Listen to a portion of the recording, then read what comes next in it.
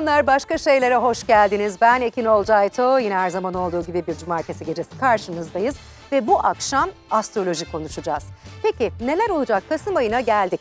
Şimdi bu ayı gün gün değerlendireceğiz değerli konuklarımızla. Amerikan seçimlerinden bahsedeceğiz, koronadan bahsedeceğiz. Bu ay bir ay tutulması var ve yeni ay var tabii haliyle. Bunlar bizi nasıl etkileyecek? Dünyaya ve Türkiye'ye etkileri neler olacak? İşte bütün bunları bu akşam konuşacağız. Çok değerli iki konuğum var. Sevgili Hande Kazanova, hoş geldin Hande. Hoş bulduk Ve Ekin'cim. sevgili Dinçer Güner, sen de hoş geldin Hoş Dinçer. bulduk. Şimdi birazdan her şeyi ayrıntısıyla konuşacağız ama eğer sorularınız varsa ne yapacaksınız? Tabii ki bize sosyal medyadan ulaşacaksınız. Ee, benim sosyal medya adreslerimden girerseniz Instagram ve Twitter'dan son postların altına sorularınızı yazabilirsiniz başka şeyler hashtag ile ve biz de burada canlı yayında değerli konuklarımızla sorularınıza cevap verebiliriz. O zaman ben daha fazla konuşmayayım hemen başlayalım. Şimdi bu sefer Dinçer'den başlamak istiyorum. Çünkü Dinçer bir önceki programda yaklaşık 4 hafta önceydi herhalde. Ben sana dedim ki kim alır seçimleri? Sen de dedin ki Trump için çok zor bir harita o dönem. Bence Biden alır. Biden. Ve Peki. sonuç bu. Ee, neler söylersin şimdi bu seçimler e, artık e, dünya başka bir yere mi evrilecek? Ne, nasıl etkilenecek? Bütün dünya Biden'ın gelmesiyle ilk önce bir başlayalım istersen astrolojik olarak. Evet, şimdi bu tabii ki bir seçim sonucuydu. Ee, hani Biden'ın alıyor oluşu aslında bir sürpriz değil. Ee, şöyle bir iddiam da yok. Tek ben söyledim. Bunun gibi bir iddiam da yok. Hani belki başka birçok astrolog arkadaşım da aynı şekilde Biden'ın alacağını eminim ki söylemiştir. Ee, bu şimdi hem e, bunu söylerken hem olaya bir uzaktan bakmak gerekiyordu. Yani dünyanın hani sadece ülke olarak değil. Şimdi dünya 2021'de aslında çok başka bir şeye doğru evriliyor. Yani aslında dünyada e, çok büyük ondan sonra çok majör değişimler aslında meydana gelmeye başlayacaktı. Ve bu gelmeye başlayacak aslında. Ve, ve e, ben aslında çok uzun süredir diyorum ki biz 2021 ve 2022 senesinde dünya üzerinde e, birçok lideri artık görmeyeceğiz. Ve aslında bu bunun başlangıcıydı. Aslında bunun e, ardından işte Putin de gelebilir, e, Kuzey Kore'de girebilir işin içerisine, ondan sonra İngiltere'de de birçok değişimler meydana gelebilir vesaire vesaire. Hani bu birazcık daha böyle e, domino etkisinin ilk adımıydı aslında bu. Çünkü önümüzdeki sene 2021 senesinde çok önemli gökyüzü olayları var çünkü. Satürn ile Uranüs arasındaki dediğim gibi bir sert bir etkileşim meydana gelecek. Bu bunun aslında başlangıç hareketiydi. İşte tabii ki ilk seçim Amerika'da olduğu için bu biraz da buradan başlamış oldu. Hem de Amerika'nın kendi doğum haritasıyla ilgili de zaten bu sene 2020 sonu ve 2021 başı gibi aslında e, özellikle de Amerika'nın ilerletilmiş haritasında çok ciddi e, yöneticilerle alakalı değişimlere işareten göstergeler vardı. Ve evet oldu ama e, şimdi asıl ne bekliyor bizi? Şimdi ne bekliyor? Evet şimdi oldu ama hani atmosfer hani bu kadar rahat e, hani oldu hemen devir teslim çok rahat mı olacak? Hayır. Çünkü e, 30 Kasım'da e, 8 derece e, de bir ay tutulması aslında meydana gelecek. Bu ay sonunda 30 Kasım'da e, 8 derece ikizlerde bir e, ay tutulması meydana gelecek. Bu Amerika için çok önemli bir tutulma. Çünkü e, Amerika'nın 8 derece ikizlerde bir Uranüs'ü var. Ne anlama geliyor? Ve tam Uranüs'ün üzerinde bir tutulma yaşayacak Amerika. Uranüs skandal, sıra dışı, birden ortaya çıkan, e, terör saldırıları da çok ilişkilidir Uranüs bu arada. E, tamamen böyle çok büyük skandallar, ikizlerde olduğu için ikizler temalı skandallar. Nedir bu? Ses kayıtları. Nedir bu belge? Nedir bu iletişimle ilgili şeyler? Nedir bu belki sosyal medyayı ilgilendiren skandallar? Nedir bu ondan sonra işte mektuplar, telgraflar, yazılar, dergiler, yayınlar? Çünkü ikizlerin temsil ettiği konularda. Yani Çünkü bir gizli kaset çıkması, bir Her şey- yazışmanın dökülmesi falan belki, gibi mi? Belki. Olabilir. Niye olabilir? Şöyle söyleyeyim. Mesela bundan önceki ikizler yay tutulmasında eee, şeyler çıkmıştı ortaya. Wikileaks belgeleri çıkmıştı. Aa, evet. Yine tam o tutulmalara denk geliyordu. Yine mesela bu tarz yani bu bu seçimin gidişatını etkilemeyecek. Yani bu en nihayetinde hani günün sonunda Biden hani Aa. önümüzdeki 4-5 sene neyse Amerika'daki o eee, görev yapma süresi hani görevini yapıyor olacak zaten. Ama hani e, Trump vermeyecek son dakikaya kadar, Ocak ayına kadar uğraşacak sürekli. Yani asla orada tahtı ya da işte eee, o gücü asla asla vermek istemeyecek. Bırakmak istemeyecek. istemeyecek. Ha bu çok mu iyi oldu, bu değişim çok mu kötü oldu? Bunu göreceğiz tabii ki önümüzdeki senelerde hani ne gibi etkilerin daha fazla ortaya çıkacağını. Ama şunu söyleyebilirim. Ee, bu Biden ne olur, Trump'la devam ederdi. Öyle olurdu, böyle fark etmez. Ama bunu hep söylüyorum, yine söylüyorum. 2021 senesi itibariyle Amerika'nın çok ciddi güç, özellikle ekonomik anlamda büyük bir darbe alacağı ve ekonomik anlamda hem de toprak bütünlüğü anlamında çok sarsılacağı bir sene bekliyor aslında. Yani Amerika artık süper güç olmayacak. Yok değil, değil. Hani artık o şeyi, o e, merkezde olma halini, tek güç olma halini artık 2021 itibariyle artık kaybediyor. Diyeyim ve ben Belki Hande. de ilk Amerika ile başlıyor ve bütün dünyada aslında Evet. bütün uluslara Her şey önemli. değişecek. Evet. Belki de tehditlere neden olacak. Ee, yani kesinlikle katılıyorum söylediklerine Dinçer'in. Ama mesela ben hani benim yaptığım yorumlarda ben Trump demiştim açıkçası. Ama çok Çünkü- başa baş Ama gittiler sen zaten. Zaten zorlu bir çok bir haritası başı- var demiştin Hande hatırlıyorum. Evet, evet. Trump zaten e, geçtiğimiz sene Ocak ayı itibariyle çok ciddi ithamlara, e, aynı zamanda biliyorsun Aralık ayında, Ocak ayında çok ciddi olaylarla uğraşmıştı. Şimdi bunların tetiklendiği bir yıl içerisinde açıkçası ben Amerikan haritasına baktığımda genel anlamda e, aynen dediğine çok katılıyorum. Geçen sene Şubat ayında çok büyük kırılmalar olmuştu ekonomik anlamda ve Aynı şekilde e, yine yaz dönemlerine denk gelen bir süreç vardı ve şimdi yaşayacağımız bir süreç içerisine giriyoruz. İşte Ay e, Uranüs kavuşumuyla hemen e, 31 Ekim'de bir dolunay yaşandı. İşte beklenmeyeni beklemek. Aslında ben orada biraz beklenmeyeni beklerken hani herkesin bütün dünya e, Biden Biden Biden derken diğer haritaları vesaireyi oturttuğumuzda e, Trump'ın hiç beklenmedik bir şekilde yeniden bir çıkış e, yaratacağını düşünerek bu yorumda bulundum. Tabii ki bunların hepsi öngörü. Bazen yaptığımız öngörüler e, olmayabilir. Tabii ki. Çünkü haritaları okumaya çalışıyoruz ve başka şeyleri de işin içerisine koymaya çalışıyoruz.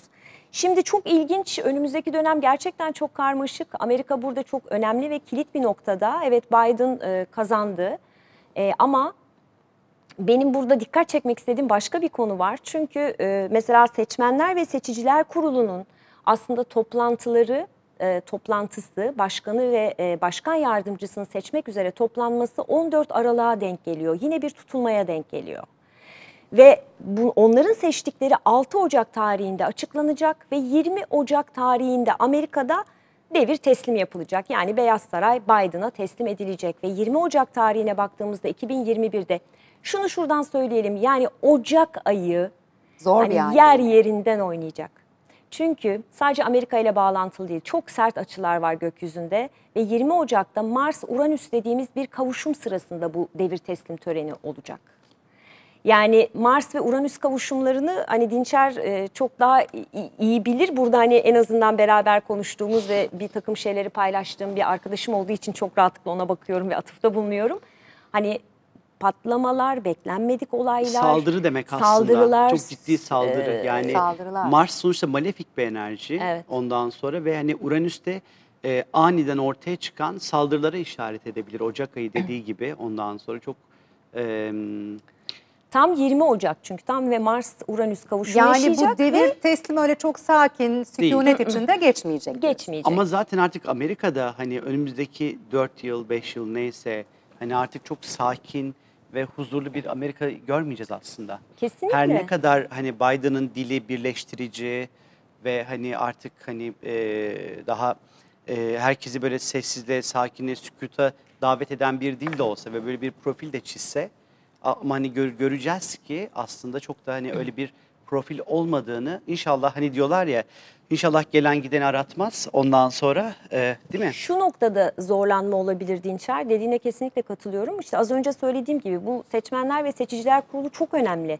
Şimdi orada cumhuriyetçilerin bir e, şeyi var, avantajı var.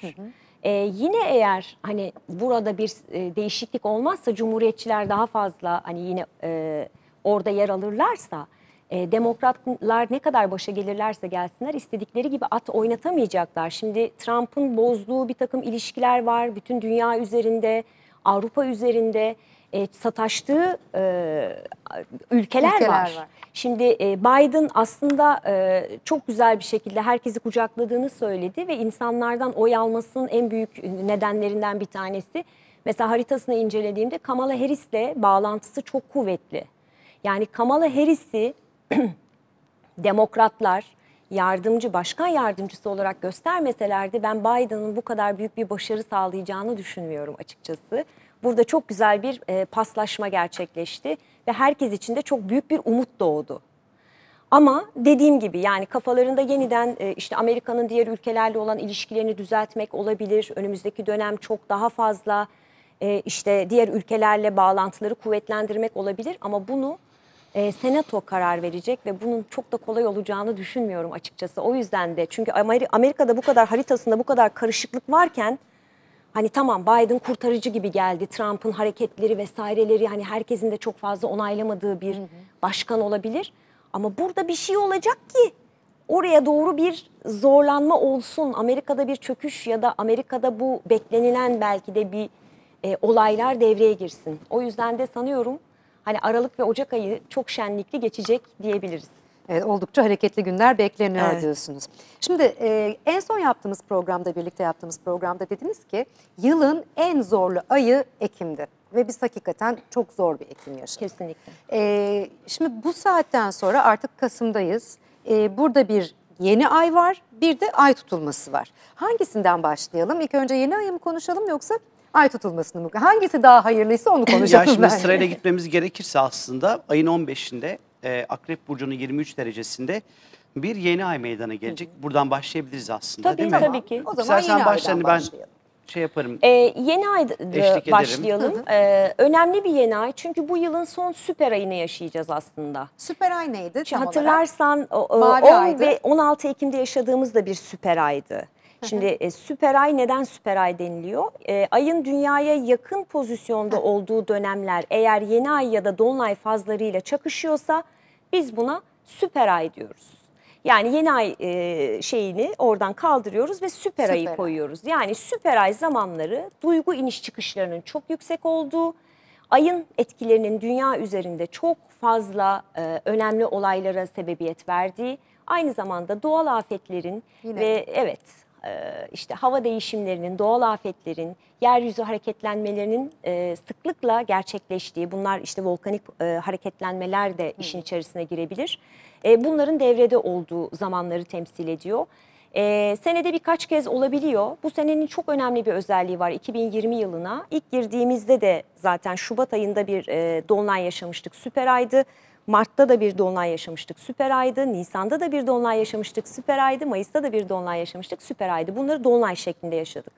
Ama son artık hep o yüzden de zaten Ekim, Kasım, Aralık çok önemli. Ekim, Kasım, Aralık çok önemli dememizin sebeplerinden bir tanesi Ekim ayındaki yeni ay bir süper aydı ve şimdi Bir de 15 o mavi Kasım'da aydı galiba değil mi? Öyle bir şey. o e, Boğa'daki. Boğa'daki Boğa'daki. 31 Ekim'de gerçekleşen. Ha o bir mavi ay. O da bir yılın içerisinde, bir ayın içerisinde iki, İki tane dolunay. dolunay olduğu zaman mavi ay diyoruz buna. O yüzden hani süper ay yine etkisini gösterecek bir e, yeni ay yaşayacağız. Ama e, bu yeni ay Akrep Burcu'nda, Akrep Burcu krizlerin burcudur. Yani büyük değişim ve dönüşümler krizler yoluyla gelir. Buradan hiç kimse korkmasın, hiç kimse sıkılmasın. Çünkü biz Akrep Burcu bir ülkeyiz. Biz zaten krizlere, değişimlere ve dönüşümlere açık bir Açıyoruz. ülkeyiz her zaman bunun içerisinden bir yol buluruz ya da bir şekilde yaşamı onurlandırırız ve ayağa kalkarız. O yüzden de bu e, e, yeni ay önemli bir yeni ay. Aynı zamanda Akrep Burcu e, dediğim gibi derin e, değişimler, dönüşümler, transformasyonlarla bağlantılı. Astrolojide yine 8. evle bağlantılı olduğunu söyleyebiliriz. İşte bankacılık sistemi aynı zamanda finans sistemiyle çok bağlantılı. Yani önümüzdeki bu yeni ay ile beraber e, bankacılık, e, finans ve ekonominin çok fazla ön plana çıkacağını söyleyebiliriz. Yine vergiler, aynı zamanda faiz, kredi, e, mevduatlar, bütün bunlar e, hayatımızda alacak verecek dengesini oturtmaya çalıştığımız bir e, düzen içerisinde olacağımızı söyleyebiliriz. Yine işte metaller, aynı zamanda polis, e, aynı zamanda biraz orduyu da işin içerisine alacak olaylar. E, bu e, akrepteki e, yeni ay ile beraber e, gündeme gelebilir. E, sırlar demek e, Akrep Burcu. Gizem Yani sırlar demek, sırlar. Evet bazı sırlar açığa çıkabilir. Bazı şeyler iyice görünür hale gelebilir. E, daha fazla hayatımızın içerisinde yer edebilir. Ama diğer taraftan şifalanmayla bağlantılı, üremeyle bağlantılı. Yani ben hani bu yeni ayı öyle çok olumsuz olarak Kötü değil evet, değil. görmeyelim. Hani Acena takım yıldızı ile birleşiyor. Orada da e, güzel Takım etkiler yıldızıyla var. birleşince ne oluyor? E, takım yıldızı ile birleştiği zaman o takım yıldızının etkilerini alıyor. E, o takım yıldızının önemli etkilerinden bir tanesi de hem e, iyi sağlık verir. E, Acena takım yıldızı. Yani özellikle sağlıkla ilgili konularda bir recover edeceğimiz, bir şifalanacağımız, belki güzel böyle haberlerin arka arkaya geleceği bir dönemi de temsil ediyor olabilir. Hani en azından bunu söyleyelim ama hani korona ile ilgili sorduğun zaman başka şeyler de söyleyeceğim. Evet, onu birazdan Ben çok konuştum. Hemen lafı Estağfurullah. Dinçer'e Şimdi atayım. önemli bir yeni ay. Ee, çünkü hani biraz da nefes almaya ihtiyacımız vardı. Ee, o yüzden de bize birazcık daha nefes aldıracak bir yeni ay. Çünkü bu yeni ayın kötü bir açısı yok en, en nihayetinde. oh böyle sakarlık. bereketimizle Bereket böyle. Bereketle. Aynen. Sakarlığımı yaptım yine. Estağfurullah. İyi oldu böyle. Oh rahatladık. Nazar çıktı diye. Nazar çıktı. Şimdi bu Akrep Burcu, işte Hande'nin de söylemiş olduğu gibi borçlar, vergiler, krediler, banka, bankacılık sistemleri bunlarla ilgili, bunlarla ilgili belki çok böyle önemli bir takım böyle kararlar belki alınabilir. Mesela Ee, kredi almaya uygun mu? Genelde sorular hep bu yönde geliyor. İşte kredi alınmalı mı, ev alınmalı mı? Hani bankalarla ilgili diyorsun ya. Hani Şu an aslında bu zaman mı? Akrep yeni ay zamanında retrolar bitmiş oluyor. Mars'ın retrosu da bitiyor. onu da. Aslında eee, hani o yüzden de kredi alımları için, yatırım yapmak için çok böyle güzel değerlendirilebilir. Çünkü bu Akrep Burcu'ndaki yeni ayın şöyle bir avantajı var. Eee, gökyüzünde şans ve fırsatlar dediğimiz Jüpiter'de aslında çok güzel bir açısı var.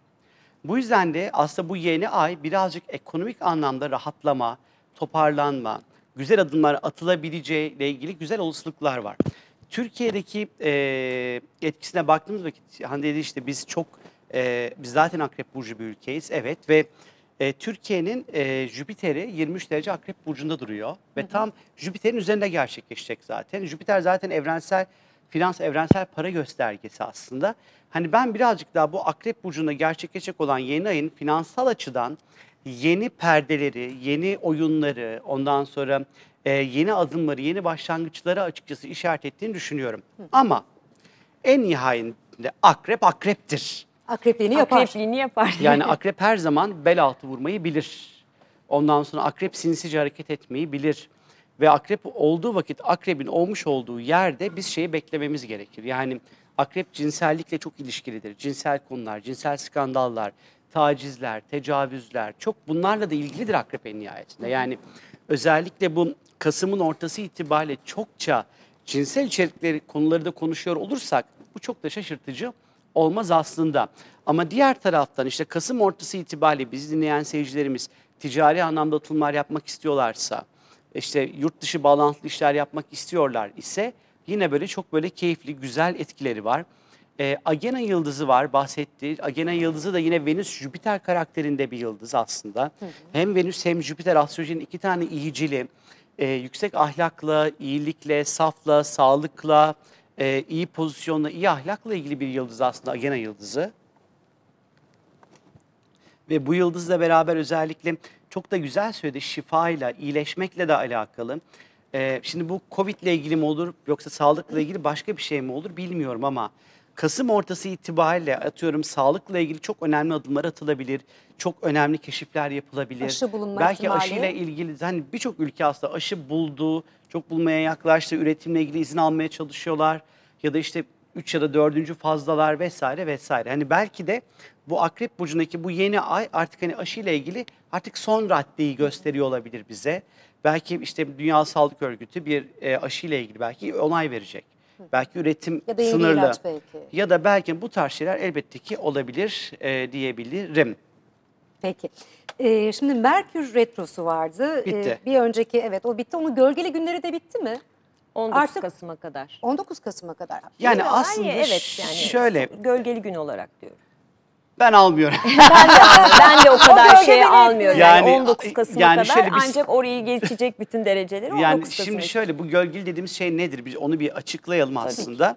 Şimdi Merkür bir burcun belli bir derecesinde aslında geri gitmeye başlıyor. Tamam. Ve geri gittiği zaman işte örnek veriyorum 15 derecede geri gitti. 14'e geriliyor. 13, 12, 11, 10, 9, 8'de geriliyor mesela ve tekrar ileri gitmeye başladığı vakit geri giderken taradığı derecelerin üstünden ileri giderken tekrar gidiyor. Bütün o derecelerin bitirmesi aslında onları gölgeli gün olarak adlandırılıyor. Evet, doğru. Peki o şunu yapmayın bunu yapmayın Değil. diye Artık uyardığımız onları şeyler geçtik. Geçtik artık onları yapılır. aslında. Bu aslında o derecelere tekrar gelmesi bize şunu gösteriyor. Retroyken tam da işte o dereceleri geçerken son 3 haftada ayağın neye takıldı? Hangi konularda eee, gecikmeler yaşadın? Stresler seni hangi alanda vurdu? Onlar tekrar bir önüne gelebilir. Ama kötü bir şey değil ki bu. Hani bu sefer başka bir farkındalıkla, başka bir bakış açısıyla ele almana yardımcı olacak. Atıyorum çok güzel bir iş teklifi geldi ama değerlendiremedin. Ya aynısı ya benzeri şey tekrar gelir ve hatanı bildiğin için ne yapman gerektiğini bilirsin bu sefer aslında. Bu iyi bir şey, kötü bir şey değil. O yüzden bu gölge meselesi kötü bir şey değil aslında. Tekrar üzerinden geçiyorsun. Çünkü Merkür aynı dereceleri taradığı için tekrar üzerinden geçiyorsun ama bu gölgesi olması şu anlama gelmiyor. Elektronik alet almayın, imza atmayın, ticari adım atmayın anlamına gelmiyor aslında. Hani burada bir bilgi kirliliği var aslında. Hani bunu da bir düzeltmek gerekiyor. Evet. Ee, hani ben çok rahat bir şekilde hani gidiyorum e, işte Merkür Retrosu bitti gittim kendime elektronik bir şeyler aldım. Gittim bir imza işim vardı onu hallettim. Yani hiç bu gölgeleri vesaire beklemedim açıkçası. Hani ben bu işi yapan bir insan olarak en azından. Ama tabii ki o derecelere geldiği vakit e, o retro sürecinde işte atıyorum ben bir şey kaybettim diyelim evde. Tam Merkür tekrar o derecelere geldiği vakit kaybettiğim şey çak diye ortaya çıkabilir mesela gibi o kadar kötü değil. Harika. Ben de tam Merkür bitti gittim saçımı kestirdim. Çok güzel olmuş bu Tam. arada. Fıstık gibisin. hakikaten bugün ayrı bir güzel geldi. Çok Ay, güzelsin, teşekkür çok. ediyorum, Çok. Sana sağ olun. maşallah deyip devam. Hayır bir şey diyeceğim zaten güzelsin hani ekstra güzelsin Evet. yani. Ay teşekkür ediyorum. Çok sağ olun. Gerçekten o güzel öyle. gözleriniz dert Şimdi- görmesin. Retro dedik insanlara bir şeyler de öğretiyor demek ki. Yani hani önüne Tabii, çıkan tabii, fırsatı tabii. falan. Şimdi Mars'ın da bir retrosu vardı. Merkür Evet. bitti. Mars'ın durumu ne? Onunla ilgili hayatımızda neler olacak?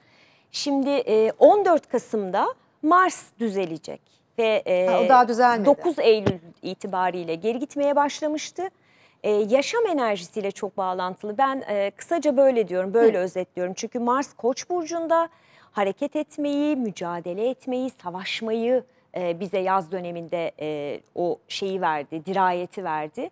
Hızlıydık, hareketliydik. O pandemi sürecinde eve kapandığımız dönemde yapamadığımız her şey için kendimizi dışarılara attık. Bir şekilde e, hani girişimlerimiz adına cesur adımlar atmak için harekete geçtik. Ama 10 Eylül itibariyle 9-10 Eylül itibariyle Mars geri hareketine başlamıştı. Hatta bu Kolumuzu Mars'ın kaldıramaz hale geldik. Evet, yaşam enerjimizi kaybettik. Yani en ufak bir e, olay karşısında artık eski cesareti gösterememeye başladık. Evet. Cesur değildik. Ya da en ufak bir şeyde kendi köşemize çekilmeyi tercih ettik. Şimdi artık 14 Kasım'dan sonra Mars'ın düzelmesiyle beraber yaşam enerjimiz yerine geliyor. Çok artık şükür. birazcık daha fütursuz, birazcık daha böyle ileri doğru hareketlerde bulunabiliriz. Girişimlerimizi başlatmak adına çok güzel bir şey. Çünkü Mars geri giderken hep şunu söyledik işte çok büyük bir iş başlatılmaz, çok büyük girişimlerde bulunulmaz, çok büyük adımlar atılmaz, kavgalar edilmez, savaş başlatılmaz demiştik hep. Evet. Şimdi artık işte Mars'ın düzelmesiyle beraber tabii ki Mars yine o noktaların üzerinden geçecek. Yani biz bazen Onun da gölgesi aynı uzunlukta mı sürüyor? e, Değil. değil. tabii Her ki değil. gezegenin hızı farklı çünkü. Tabii Ha. çok uzun iki ay boyunca geriledi Mars. Çünkü Merkür 3 hafta geriliyor sonuçta. Gölgesi ne 21 kadar gün. sürecek şimdi Mars'ın? o E, şimdi e, Koç burcundan çıkana girersek- kadar onun Eyvah. gölgesine çık giderse yani ocağın 6 Ocağı kadar beklememiz gerekiyor. 6 Ocak'ta Mars Boğa burcuna geçecek. Hadi birkaç gün 28 derecede gerilemeye başlamıştı. Hadi e, aralığın sonu vesaire diyelim, Ocak başı vesaire diyelim. Ama bence şunu unutmasınlar. Hani bazen aa biz bunu iki ay önce konuşmuştuk diyoruz ya da bazen bunu üç hafta önce biz bu konuya benzer bir olay yaşamıştık diyoruz ya da haberlerde görüyoruz ya da hayatımızda yaşıyoruz. İşte oralarda işte geri giden gezegenler düzelip yeniden çok güzel anlattı az önce Dinçer. Yeniden o konuların karşımıza gelmesine, benzer konuların karşımıza gelmesine neden oluyor. Şimdi yaz dönemi boyunca özellikle Ağustos ayında ve Temmuz ve Ağustos ayında yaşadığımız olayları yeniden ele alacağız ve tabii ki bu gerilemeyle beraber o noktalara doğru giderken bu olayları yeniden yaşayacağız. Ama bence bu dönemin en güzel haberi Mars'ın düzelmesi. Mesela beni ben mahvoldum yani hani etrafımdaki insanlar ki normal haritamda Mars'ın da geri harekette olmasına rağmen e, yine de çok zorlandığımı ve etrafımdaki insanların zorlandığını da söyleyebilirim. Ya ben de bu dönem çok sıklıkla mesela herkesten şunu duydum. İşte yaşama sevincimi kaybettim. Ay işte işte kolum kıpırdatacak halim yok. Hakikaten insanlarda böyle bir enerjisizlik vardı. Ondan da kurtuluyoruz. Bu güzel haber. Kesinlikle. Şimdi e, tabii hepimizin ortak bir gündemi var. Koronavirüs. Evet. Yani şimdi yeni kısıtlamalar gelecek mi? E, Avrupa'ya bakıyoruz. Çok ciddi kısıtlamalar geliyor. Bizde de işte artık bir, birkaç bir şeyler başladı. Devamı gelecek mi? Tekrardan evlere kapanacak mıyız? Böyle şeyler öngörüyor musunuz acaba? Yukarısı ne diyor bu konularla ilgili? Gökyüzü neler söylüyor? İkinizden de fikirlerinizi merak ediyorum. Dinçer ile başlayalım isterseniz. Okey. Ee, pandemide mimli olan olarak. ee, yani şöyle, daha önce de Hande bu konuda aslında çok güzel öngörülerde bulunmuştu. Ekim, Kasım ayı itibariyle aslında bizim bir Covid tsunamisi yaşayacağımızı söylemişti Evet, Hande. sen söylemiştin. Ondan sonra nitekim de öyle de oluyor zaten. Hani burada ben değil aslında hani Hande'nin bir şeyler söylemesi çok daha doğru olur ama evet hani bizi artık çok rahat bir kış ayı beklemiyor. Ama bir taraftan da aslında gerçekten de yıl sonuna doğru aşıydı, ilaçtı bir şeylerin olacağını da açıkçası düşünüyorum ben. Doğru. Yani Sen- kesinlikle bence çok hızlanacak bazı şeyler. Şimdi e, pandemiyle ilgili konularda e, çok önemli kavuşumlar vardı bu sene ve biz bu kavuşumlara bakarak zaten bu pandemiyle ilgili yorumlarda bulunduk hepimiz. Şimdi bunlardan bir e, üçüncü kez gerçekleşecek bir kavuşuma dikkat çekmek istiyorum. Jüpiter ve. Plüto kavuşumu. Ne 12-13 oluyor onlar Kasım kavuşunca? civarında. Şimdi e, büyük değişimler ve dönüşümlerle alakalı aslında dünya astrolojisinde hani savaşlarla, soykırımlarla, toplu ölümlerle, hastalıklar ve doğal afetlerle bağlantılı. Mesela geçtiğimiz dönem e, yapılan e, araştırmalarda özellikle bu pandemi çıktığında ben bu konuyla alakalı bir e, araştırma yapmıştım. Mesela 1918 yılında Yengeç Burcu'nda bu kavuşum gerçekleştiğinde 500 milyon insan etkilenmiş ve 50 milyon insanın ölümüne neden olmuş İspanyol gribinin ortaya çıktığı görülmüş. Özellikle Jüpiter-Plüton kavuşumlarında. Ee, yine 1981 yılında Terazi Burcu'nda birleş- birleştiklerinde HIV AIDS virüsüyle karşılaşmışız ve bütün dünya yine bundan çok etkilenmiş. 2 Aralık 1994'te Akrep Burcu'nda birleştiklerinde HIV testi ortaya çıkmış ve FDA tarafından onaylanmış.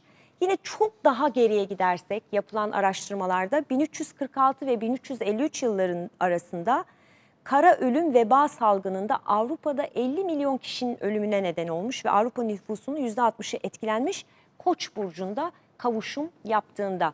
Şimdi bu sene 3 kere kavuştu. Biz aslında son dönemindeyiz bunun. Son tsunamisi son işte. Son tsunami, tsunamisi. son dalga diyebiliriz buna. Aslında bir 2021 yılı içerisinde bir beklediğim bir e, dalga daha var ama bu son gibi, e, gibi Yir- 21 algılanabilir. dedin değil mi? 20 demedim. 2021 dedim. Ee, şimdi bunların bunun ilkini e, Mart sonunda Nisan başında yaşadık. Jüpiter ve Plüto kavuşumu burada etkiliydi. 5 Nisan'da devreye girmişti. İkincisini 30 Haziran ve Temmuz başında yaşadık ki e, zaten hani e, çıktığımız programlarda da artacağını aslında biraz da buna öngörerek e, yaptık e, bu yorumları.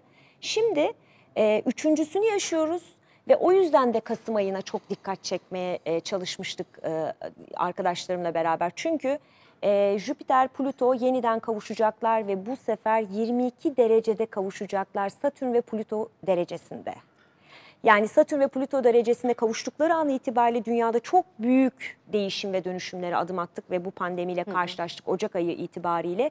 Şimdi aynı nokta Jüpiter ve Plüto tarafından yeniden tetiklenecek.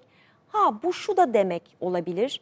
Çünkü Jüpiter sonuçta e, bu alanlarda yeni bir takım e, işte e, bilimsel buluşları da te- e, destekleyecek. Mesela ben hep e, yaptığım televizyon programlarında ya da işte e, sosyal medyada yaptığım e, alanlarda 12-13 Kasım civarı aşı ile ilgili çok önemli gelişmeler bekleyin dedim.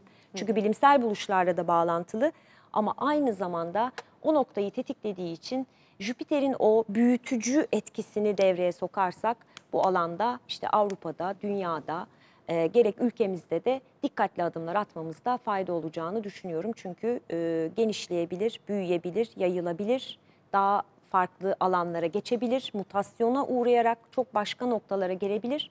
Ama Jüpiter ve Plüton kavuşumunun bir özelliği daha var ki ekonomik anlamda çok büyük krizlerle bağlantılı ve aynı zamanda ekonomik değişim ve dönüşümlerle bağlantılı. Ekonomide de son noktadayız. Yani önümüzdeki hafta itibariyle 12-13 Kasım'la beraber e, çok önemli oynak bir zamana geçiyoruz. Çok spekülatif bir zamana geçiyoruz. Hani bütün dünyada hani birilerinin ben hep öyle söylüyorum. Birilerinin cebine iyi para girecek. Hani gerçekten küçük yatırımcı ya da kendi e, hesabını iyi yapamayan, kendi pozisyonunu doğru alamayan insanların e, biraz da kayıplar yaşayacağı bir süreç olabilir e, diyorum. Çok iyi kontrol etmemiz gerekiyor o zaman. Evet. Ee, kendi kişisel e, ekonomimizi de aynı kesinlikle zamanda. tabii tabii ülkelerle kesinlikle birlikte. etkileneceğiz bundan. Ee, peki kısıtlamalar gelebilir mi? Korona ile ilgili. Ee, korona ile ilgili kısıtlamaları e, ben e, zaten hem kendi sistemde de yazmıştım, belirtmiştim. E, özellikle mesela 20 e, 26 Ekim ve 4 Kasım arasında bunun çok hızlanacağını söylemiştim. E, zaten de hani dö- 4 Kasım, 3 Kasım mıydı? 4 Kasım'da e, bu hani belirli bir kısıtlama gelmişti. Ben olacağını düşünüyorum kısıtlamaların. Şimdi en çok gelen sorular arasında o var tabii ki ve eğitimi nasıl etkileyecek? Uzaktan eğitime mi devam edilecek? Normal e, yani eğitim nasıl olacak e, şeklinde Özellikle sorular bu aralar geliyor. çok fazla e, üniversiteyle ilgili ondan sonra eğitimle ilgili sorular daha fazla geliyor. Şimdi yay burcu aslında e, üniversitelerle ilgilidir ve Kasım sonunda yay burcunda bir tutulma meydana gelecek. Bu tutulmayla bence deneme amaçlı bir süreliğine üniversiteler belki açılabilir. Ama sonrasında belki Aralık sonuna doğru tekrar bir kapanma durumu olabilirmiş gibi geliyor bana. Olabilir çünkü e, bu tutulmalar hani 30 Kasım'da 14 Aralık'ta Türkiye haritasının e, yine mesela Türkiye için konuşacak olursak yine e, ha- e, hani hastaneler, salgınlar, e, kapalı alanlar dediğimiz e, bölgesinde gerçekleşecek. Evet çok fazla bir yerlerle teması yok belki Türkiye haritasında ama e, yine hani e, tecrit alanlara dediğimiz e, bir noktada 12. evde gerçekleşecek 30 Kasım'da. Yine 8 derece ikizler burcunda e, hani bunu söylüyoruz Kuzey Güney Ay düğümü ikizler ve yay hattına geçti. İkizler burcu nefes almakla çok bağlantılı, akciğerlerimizle çok bağlantılı, nefes sistemiyle çok bağlantılı. Mesela birazdan konuşacağız bu ay tutulması Evet. e, yine Türkiye'nin 12. evinde olacak. Yani burası hastaneler, e, hapishaneler, kapalı alanlar, ee, hani bu noktada salgın hastalıklarla bağlantılı bir alan.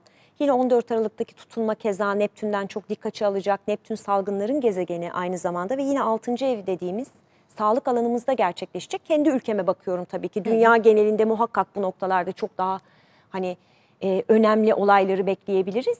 Ama o yüzden de ne olursa olsun hani dikkatli olmakta fayda var. Henüz bunun etkisi geçmiş gibi hissetmesinler, rahatladık gibi görmesinler. Biraz daha etkisi devam edecek. En azından 2021'in ilk 6 aylık dönemine kadarki süreci e, tutacak bu tutulmalar.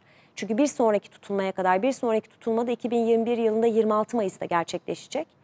Yani oralara kadar yine e, bizim 6-12 yani aksımız 2021'in Kasım ayına kadar oralarda. Yani Çok dikkat dikkatli olma- e, olmaya, fayda var. önlemler almaya devam Bu etmemiz Jüpiter gerekiyor. Plüto çok önemli ama çünkü 12-13 Çok. senede bir meydana geliyor. Yani Jüpiter ve Plüton 12-13 senede bir e, buluşuyor ve her buluştuğunda bir döngü başlatıyor. Çünkü iki gezegenin bir araya gelmesi aslında bir yeni ay efekti yaratıp bir döngü başlatıyor ve Jüpiter Plüton'un bir araya gelmesi de 12 senelik küçük döngüleri ve daha büyük 200 küsür senelik daha büyük döngüleri de tetikliyor kendi içerisinde e, değiştiriyor. Şimdi Oğlak'ta meydana gelecek. Evet zaten sağlık anlamında e, vaka sayılarında evet ne yazık ki artışlar olabilir. Ama özellikle ekonomi, finans, para, iş hayatı, borsa, e, büyük ondan sonra firmalar, e, büyük e, ekonomik gücü elinde tutan firmalarla ilgili çok önemli gelişmeler de olabilir sanki. Kesinlikle.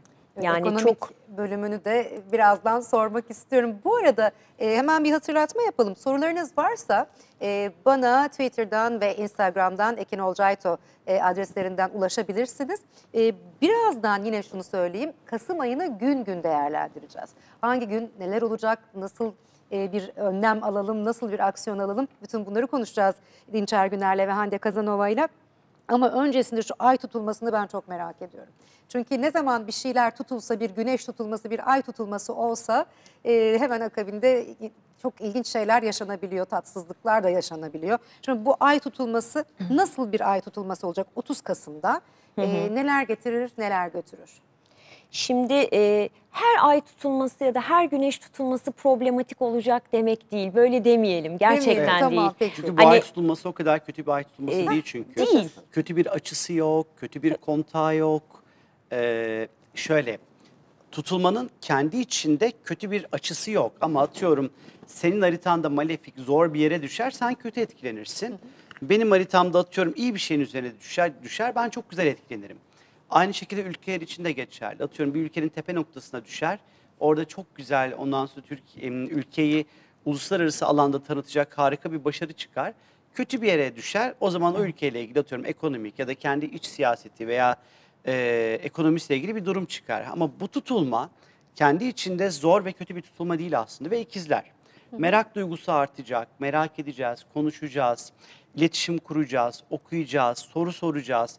E, çok soru soracağız. Eğitimler ondan sonra mesela bu tutulmayla birlikte birçok eğitime başlanabilir, ticari ilişkiler gelişebilir.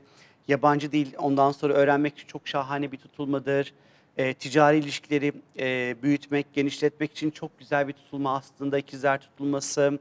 E, ve aynı şekilde sonuçta ikizler olduğu için hani burada e, koşulların ve şartların aslında sürekli değişeceğini de gösteriyor bir noktada baktığımız vakit. Sadece 8 derecenin dünya astrolojisindeki anlamı yağmalamak demek aslında. Yani ilk e, 10 derecelik ilk dekanında çünkü ikizlerin. Hani bu dünya üzerinde nerede olur bunu bilmiyorum ama böyle yağmalamayla ilgili haberler, soygunlarla ilgili haberler çıkabilir tabii ki. Peki kişisel olarak da güvenlik önlemi almalı mıyız? Hani bu evlere de e, yani hırsızların girmesi gibi Yok, falan yok, bir şey yok. değil. Yani İkizler- daha büyük olaylardan Yok hiç bahsediyorsun. alakası yok aslında. Yani çok öyle bir şey çıkacağını zaten zannetmiyorum. Türkiye'nin sadece 12. evinde gerçekleşeceği için belki burada bazı kısıtlamalar yine yani şimdi mesela saat 10'dan sonra e, işte müzikli yerlerin e, müzikleri kapanıyor, işte kafeler kapanıyor gibi. Ondan sonra da işte sadece paket servislerine izin verdiler. Hani bazı kısıtlamalar geldi. 30 Kasım'da da şimdi ikizler değişken burç. Yani işte kısıtlama gelir ama 20 gün sonra kısıtlama kalkabilir de. Çok istikrar olmaz ikizlerin olduğu yerde. Yani bu dönem meydana gelen olayların böyle çok böyle istikrarlı, düzenli, stabil olmasını da veya alınan kararların da aynı şekilde çok stabil olmasını beklememiz gerekiyor. Ama Türkiye'nin 12. evine düşeceği için evet mesela kurallar gelebilir. Hani biz bir süre daha belki diyecek ki hafta sonları dışarı çıkmak yasak belki. Ya da işte bir- belli bir saatten sonra belli yaş grubu çıkmasın diyecek belki gibi böyle 30 Kasım civarı işte 30 Kasım işte artı eksi 15 gün 6 gün yani ilk güçlü etkisini o zaman yaşayacağız çünkü bu tarz temalar çıkabilir ortaya. Ee, Sen neler söyleyeceksin Hande? Mesela daha önce sen diyordun ya mesela işte bu dönem hani ilişkilerinizde alttan almanız gerekiyor. İşte atıyorum hem işvereninizle Evet, evet. hem eşinizle. E, bu ay tutulmasında da hani bu karar değişiklikleri olacak e, dedi az önce Dinçer. Hani Tabii. mesela bir evlilik kararı almak, bir işte yeni bir işe başlama kararı almak. Aldığımız kararlar hemen pat diye değişebilir mi? Yani bir hayal kırıklığıyla mı e, sonuçlanması anlamına gelir bu? Tam olarak ne anlamalıyız bundan? Şimdi tutulmalarda zaten olaylar öyle hızlanır ki e, aslında karar vermeyin deriz biz. Yani Hmm. tutulma zamanları geçsin, bir sakin olmakta fayda var. Ondan sonra verilecek kararlar devreye girmeli diye konuşuruz. Genelde işte danışanlarımıza verdiğimiz tavsiyelerde bu vardır ya da konuştuğumuz zaman bunu söyleriz. Yani tutulma zamanları çok hızlı olayları karşımıza getirebilir. E, güzel söyledi Dinçer. İletişimin çok ön plana çıktığı bir tutulma olacak bu. E, her türlü e, aslında yağmalama dedi ve asparagas haberler yani bilgi Evet. kirliliği aynı zamanda bilgiyle ilgili konular e, öğrenmeyle alakalı işte e, belki bir bilginin çalınması bir bilginin ortaya çıkması işte Wikileaks vesaire bunları hep Evet. konuştuk ya bunların da ortaya e, çıkma olasılığını arttırıyor ve öyle her gördüğümüzde her dinlediğimizde de inanmamamız gereken e, bir süreç yine bir de ikizler burcu ee, özellikle medikal astrolojide sinir sistemiyle çok bağlantılı. O yüzden mesela çok çabuk sinirlenebiliriz. Ee, o dönem içerisinde karşımıza gelen olaylarda E, çok hızlanacak çünkü hani iletişim çok hızlanabilir. E, belki çok fazla işte eğitimler online'a dönebilir. Yine Türkiye haritasına baktığımda özellikle bu tutulma ile alakalı e, tutulmanın dördüncü evimize düştüğünü görüyoruz. Yani o yüzden de hani dördüncü ev konuları çok daha ağırlık kazanacak. İşte kendi ülkemiz, kendi sınırlarımız mesela burada bana şunu gösteriyor. Satürn, Plüto ve e, Jüpiter 12. evde yani e, dış e, border diyeceğim ama hani sınırlara karşı kapanma, sınırlar kapanabilir. Bu uçuşla Ha. ilgili olabilir. Çünkü ikizler Evet. seyahat demek ya. Evet. Hani belki seyahatle ilgili bazı önlemler alınabilir ekstra. Ülkeler ne kapılarını Kesinlikle. kapatabilir. Mesela bu da olabilir. Hani karar verebiliriz belki böyle bir şeye ya da Olabilir. seyahatle ilgili ekstra önlemler. Çünkü ikiz, ikizler hareket etmekle, seyahatle ama bu şimdi şöyle yay uluslararası seyahat demek. İkizler İç ülke seyahat. içi seyahat demek. Belki de ülke içi otobüsler belki olabilir. Bu Olabilir. Otobüs seyahatleriyle ilgili belki. Hani yeni bir takım işte kurallar olabilir ya da atıyorum e, şimdi şu an bildiğim kadarıyla umarım yanlış bilmiyorumdur. Hani e, otobüse seyahat ettiğim vakit HES kodu sormuyorlar. kodu Soruluyor. diye. Soruluyor mu şu an? Bilmiyorum. Şehir içinde. Bilmiyorum. Uçağı biliyorum ama Uçakta sorulduğunu soruluyor. biliyorum ama atıyorum otobüsle bilmiyorum. Hani Yeni bir kural yanlış bir şey mesela. söylemeyeyim de hani yine de hani mesela yoksa belki bu eklenir ya da bu vardır olabilir. Hani e, otobüse seyahat etmediğim için e, bilmiyorum. E, ama atıyorum başka bir kural atıyorum tek koltuk boş gidecek denebilir. Hani yanına belki yolcu almayacaksın diyebilirler. İşte e, otobüs firmalarına. Hani bir takım böyle seyahatle ilgili ondan sonra önemli e, adımlar atılabilir. Tabii ki ikizler burada da medya ile ilgilidir. Evet. Hani sen bir şey söylemek istersen Medya eğer ile ilgili hemen neler topu atayım sana. Yani e, me- medya ile ilgili hani medyada çok büyük e, hani haberler duyabiliriz. Skandallar, haberler, olaylar, bilgilerin ortaya çıkması bunlar da e, gündeme gelebilir. E, bir kere e, ayın tabii ikizler burcunda olması onun e, göstergesi yani yöneticisi Merkür'ün akrepte olması mesela bu dönem senin dediğin çok güzel Dinçer hani değişken bir dönem ve ikilikleri temsil eder aslında ikizler burcu. Yani öyle mi olsun böyle mi olsun kararsız da kaldığımız bir dönem. Ama burada verilen kararlar sanki bir tık daha böyle sabit bir noktaya taşınabilirmiş gibi geliyor. Merkür akrepte ama şurası çok sevindirici. İkisinin de yöneticisi birbirini çok güzel bir şekilde açılar atıyor. O yüzden hani korkacak bir şey yok, e, sıkılacak bir şey yok ama bu dönem içerisinde bazı uygulamaların karşımıza geleceğini de söyleyebiliriz. Özellikle dediği gibi işte iç seyahatle bağlantılı e, konularda. Yine mesela alakalı. Kesinlikle dördüncü ev konularıyla da çok bağlantı. Mesela sınırlar o yüzden ben sınırlar e, demeyi burada hani gördüm ve dördüncü ev dediğimiz aslında e, hani e, yeni uygulamalar, yeni e, bu alanda atılacak adımlar e, iç e, meseleleri ilgilendiren konularla alakalı olacak bu dönem içerisinde. Hani daha çok dış meselelerle değil kendi içimizde olup biten konu ve olaylarla daha fazla ilgileneceğiz. Şimdi eğitim de önemli. Çünkü evet. şimdi ikizler e, üniversiteye kadar eğitimi gösterir. Yay üniversite ve sonrası eğitimi temsil eder. E, şimdi bir noktada bu tutulma e, kuzey tarafında gerçekleşiyor. Ne olursa olsun iyicil ve umut veren bir tarafı var. Çünkü kuzey ay düğümü tarafında bir tutulma olduğu zaman bizim öğrenmemiz gereken ve daha böyle pozitif tandansı olan temaları gösteriyor. Yani bizim de hani kişisel anlamda birazcık daha ikizler ikizler olmamız gerektiğini gösteriyor. İşte Aklıma bir Lütfen, şey geldi. lütfen, çok lütfen, ha, yok lütfen. çok güzel bir şey söyledin. Kesinlikle katılıyorum. Tarım ve çiftçilerle ilgili e, özellikle e, önümüzdeki dönem bu o- 30 Kasım ve sonrası bunlarla ilgili e, belki onların hani e, ürünleri e, pazarlaması olabilir. Bunlarla alakalı atılacak önemli adımların da devrede olacağını söyleyebiliriz. Hani özellikle bu ay ikizler dördüncü ev olarak diye düşünüyorum. Ama az önce söylediği evet kesinlikle yani iç piyasa daha hareketli ve iç piyasaya yönelik ya da işte dediği gibi evden dördüncü ev sonuçta e, aile hayatımızda temsil ediyor. Evden eğitim e, burada e, devam edecektir diye düşünüyorum. Zaten öyle de olmalı gibi görünüyor. Bizim zaten kişisel anlamda birazcık daha açık fikirli olmamız gerekiyor, esnek olmamız gerekiyor, yeni şeyler öğrenmeye açık olmamız gerekiyor, kendimize yatırım yapmamız gerekiyor, farkındalığımızı arttırmamız gerekiyor.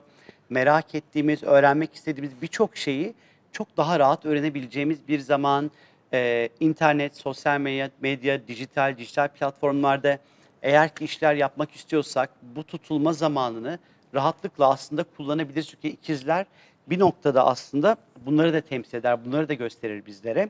Ee, sadece şu ilk öğretim eğitim kısmına döneceğim tekrar. Belki burayla alakalı e, eğitim işte belki üniversiteyle ilgili bir deneme yapabilirler ama bir taraftan da ilk öğretimle alakalı e, yeni kararlar da alınabilir. Yani lise sona kadar olan eğitimle alakalı. E, şimdi dönüşümlü olarak okul işte sınıflar gidiyor okula. Bunun sistemi de değişebilir aynı şekilde. Yani eğitimle alakalı kararlar alınacaktır. Bir de ikizler sınav demektir her zaman. İkizler ve yay hattındaki tutulmalar sınavlarla ilgili bir takım böyle etkiler ortaya çıkartır. Ee, önümüzdeki sene Kasım'a kadar bu tutulmalar gerçekleşecek bu arada. İşte Kasım, Mayıs, Haziran, Kasım şeklinde gidecek 2021'de. Ben birazcık daha böyle eğitim sistemi ve sınav sisteminde de ufak tefek değişikliklerin olabileceğini düşünüyorum. Evet. Şimdi artık yavaş yavaş e, izleyicilerimizden gelen soruları da sormak istiyorum. Harika Demirtaş demiş ki siz olsanız böyle bir dönemde çocuğunuzu anaokuluna hangi ayda gönderirdiniz? E, ikinize birden sormuş. Şimdi e, yani ne Anaokuluna. dersiniz? Anaokulu daha. mecbur kaldığını düşünüyorum, e, varsayıyorum. Sevgili izleyicimizin mümkünse göndermesin. Hani anaokulu olduğu için hani okul hani belki e, bazı anneler babalar çocuklarının geleceği için hani okul e, da- okuldan kaynaklı olarak göndermek isteyebilirler ama hani eğer bakabilecek bir e, güçleri varsa baktırabilecek ya da anneanne dede vesaire varsa yani bence mümkünse hani anaokulu e, şimdi burada Çok da elzem bir şey e, değil. değil diye düşünüyorum. Hani buradan da e, şimdi hani Türkiye'de vardır bu. Şimdi bir laf söylerim anaokulları ayaklanır. Hani niye tabii. böyle diyorsunuz diyebilirler. Ama hani mümkünse bu dönem çünkü çocukları kontrol etmek çok da kolay değil. Artık çocuklar üzerinde de çok büyük etkisi olduğu Doğru. söyleniyor koronanın. Yaşı Yani düştü çünkü epey. Hep yaşı düştü, e, birbirlerini merak ediyorlar. Sen ne kadar güzel e, masken var deyip alıp takabiliyor. Yani Birbirleriyle maskelerini değiştiriyorlarmış. Evet, çok ben onu sevdim, tatlılar. sen bunu Evet. sevdin diye ama Allah korusun hakikaten. Allah korusun gerçekten. Ee, peki Aralık doğum günüm ee, sizce taşınmalı mıyım demiş birisi. Şimdi hem doğum günü diyor hem taşınmalı. Aha pardon ee, sevgilimle aynı eve taşınmalı mıyım diyor ya da bir evlilik yapabilir mi? Ee, bu dönemde evlilik için ne söylüyorsunuz öyle söyle sorayım. Yay burcu mu? Evet. Yay burcuysa yani Aralık. çok e, bunu hep söylüyoruz programlarımızda. var işte aslında. Evet. Tam da onun kararını verdiği bir zaman. Aynen ve hep bunu söylüyoruz. Hani bu kişiye çok özeldir. Haritasına baktırması lazım. Genel olarak konuşuyoruz burada ama yay burçları için zaten bu önümüzdeki bir yıl boyunca yani kuzey ay düğümü değişene kadar tek başlarına olmamaları gereken bir dönem. İşbirliklerine, ortaklıklara, ilişkilere gitmeleri gereken bir dönem ve evlilikle ilgili konular onları daha da yukarıya taşır. O Yaylar. yüzden evet tutulmalar onların hattında bu noktaları tetikleyecek. O yüzden de 30 Kasım'daki ay tutulması aynı zamanda 10 Haziran'daki ikizler tutulması ilişkiler konusunda önemli kararlar almasını sağlayacak sevgili yayların. Ee, tabii 7. ev e, ortak yaşamı da temsil eder, taşınmayı da temsil eder. Ee, sanıyorum Aralık ayı içerisinde her şey düzeldikten sonra hani yapabilirler. Yapabilirler. Evet. Şimdi e, deminden beri ikizler Burcu ile ilgili konuşuyoruz ya. E, Tusem e, diye bir izleyicimiz demiş ki ikizler Burcu Kasım ayında nasıl etkilenecek? Şimdi her şey ikizler Burcu üstünden geçtiği için hani başımıza neler gelecek diye merak ediyorlar herhalde. Şimdi bir tutulma olacağı için tutulmaları aslında hayatımızdaki önemli dönemeçleri gösterir. Ama her ikizler önemli bir dönemeçten geçmek zorunda değil. Eğer ki bu soruyu soran kişinin haritasında ikizlerde önemli gezegenleri varsa işte sadece güneşin olması yeterli değil. Tabii ki önemli Normal güneşin burcu olması ikizler da. herhalde. Ama belki hani haritasında Merkür de ikizlerdedir, belki Satürn de ikizlerdedir. Bunu bilemeyiz tabii ki ama tutulmalar bir dönemeci gösterir. Önemli bir karar verdiğimiz bir zamandır. Ee, ve hani o kararı da zaten hani hayat bizi onu önümüze çıkartıyordur ve vermemiz de gerekir zaten. Eğer ki böyle bir süreçten geçiyorsa, hani bir karar vermesi gerekiyorsa hani o kararları da alması gerekiyor kişinin. Evet. Şimdi e, geçtiğimiz günlerde çok acı e, bir deprem yaşadık. Hepimizin ciğeri yandı. E, çok Kesinlikle. üzüldük, çok ağladık. Ve tabii ki herkes yine bununla ilgili soru soruyor. Ben biliyorum ki siz evet şu saatte, şu zamanda deprem olacak demekten tabii ki hoşlanmıyorsunuz. Böyle bir şey öngöremeyiz diyorsunuz ama genel olarak afetleri soracak olursam, e, bu dönemde yine tetiklenecek doğal afetler dünyada, e, yani bütün dünya için konuşuyorum sadece Türkiye için demeyelim ki insanları da hani korkuya sevk etmeyelim tabii ki ama e, neler söylersiniz? Çünkü çok fazla soru var. Dolunay yine böyle bir şey tetikler mi diyorlar genel olarak. Ee, bu arada e, düzeltiyorum çünkü benim de hakikaten konuşmaktan hiç hoşnut Evet, olmadığım. biliyorum. Çünkü hani böyle e, insanlara çok kötü bir şey e, söylüyormuşuz gibi e, geliyor. Çünkü şu an gerçekten hani İzmirli olarak e, bütün İzmir'in acısını canı gönülden paylaşıyorum. Evet. Evet, benim ailemde belki hiçbir sıkıntı olmadı ama e, İzmir'de öyle bir e, etki vardır. Yani hepimiz kardeşizdir, hepimiz aynı yürekteyiz. O yüzden e, çok gergin olduklarını biliyorum. Bu dönem e, çok bilgi aldıklarını biliyorum e, internet üzerinden. E, şimdi az önce zaten başlarken söyledik e, önümüzde bir süper ay var dedik. Süper ay aslında biraz e, doğal afetleri tetikleyen bir etkiye sahip. E, ama hani e, yapabileceğimiz bir şey yok. Hani bunu Tabii. söylüyoruz ama e, buna e, bizim elimizden gelen bir durum yok. E, önümüzdeki dönem hani bu dönemde biraz hani artçıların biraz e, hareketli olma olasılığı var ama ne olursa olsun güzel şeyler söyleyelim. Hani olmayacak diyelim. E, hani bir şekilde bunlar da aşılacak diyelim. Ama hani 2020 yılı hani tamamlanmadan Aralık ayında ve 2021 yılının özellikle Ocak e, sonu, Ocak ayı e, hani bu noktalarda Şubat ayı hani önümüzdeki sene Haziran e, ve Kasım ayı. Kasım ayı çok e, Biraz hani riskli ama riskli. şöyle bir şey var. Şimdi em, astrolojik bir astroloji bir sembolizm ve e, bizim öngördüğümüz e, bir depremle ilgili bir sembol o dönem deprem olarak çalışmaya da bilir. Evet, Bu bir doğru. gerçek.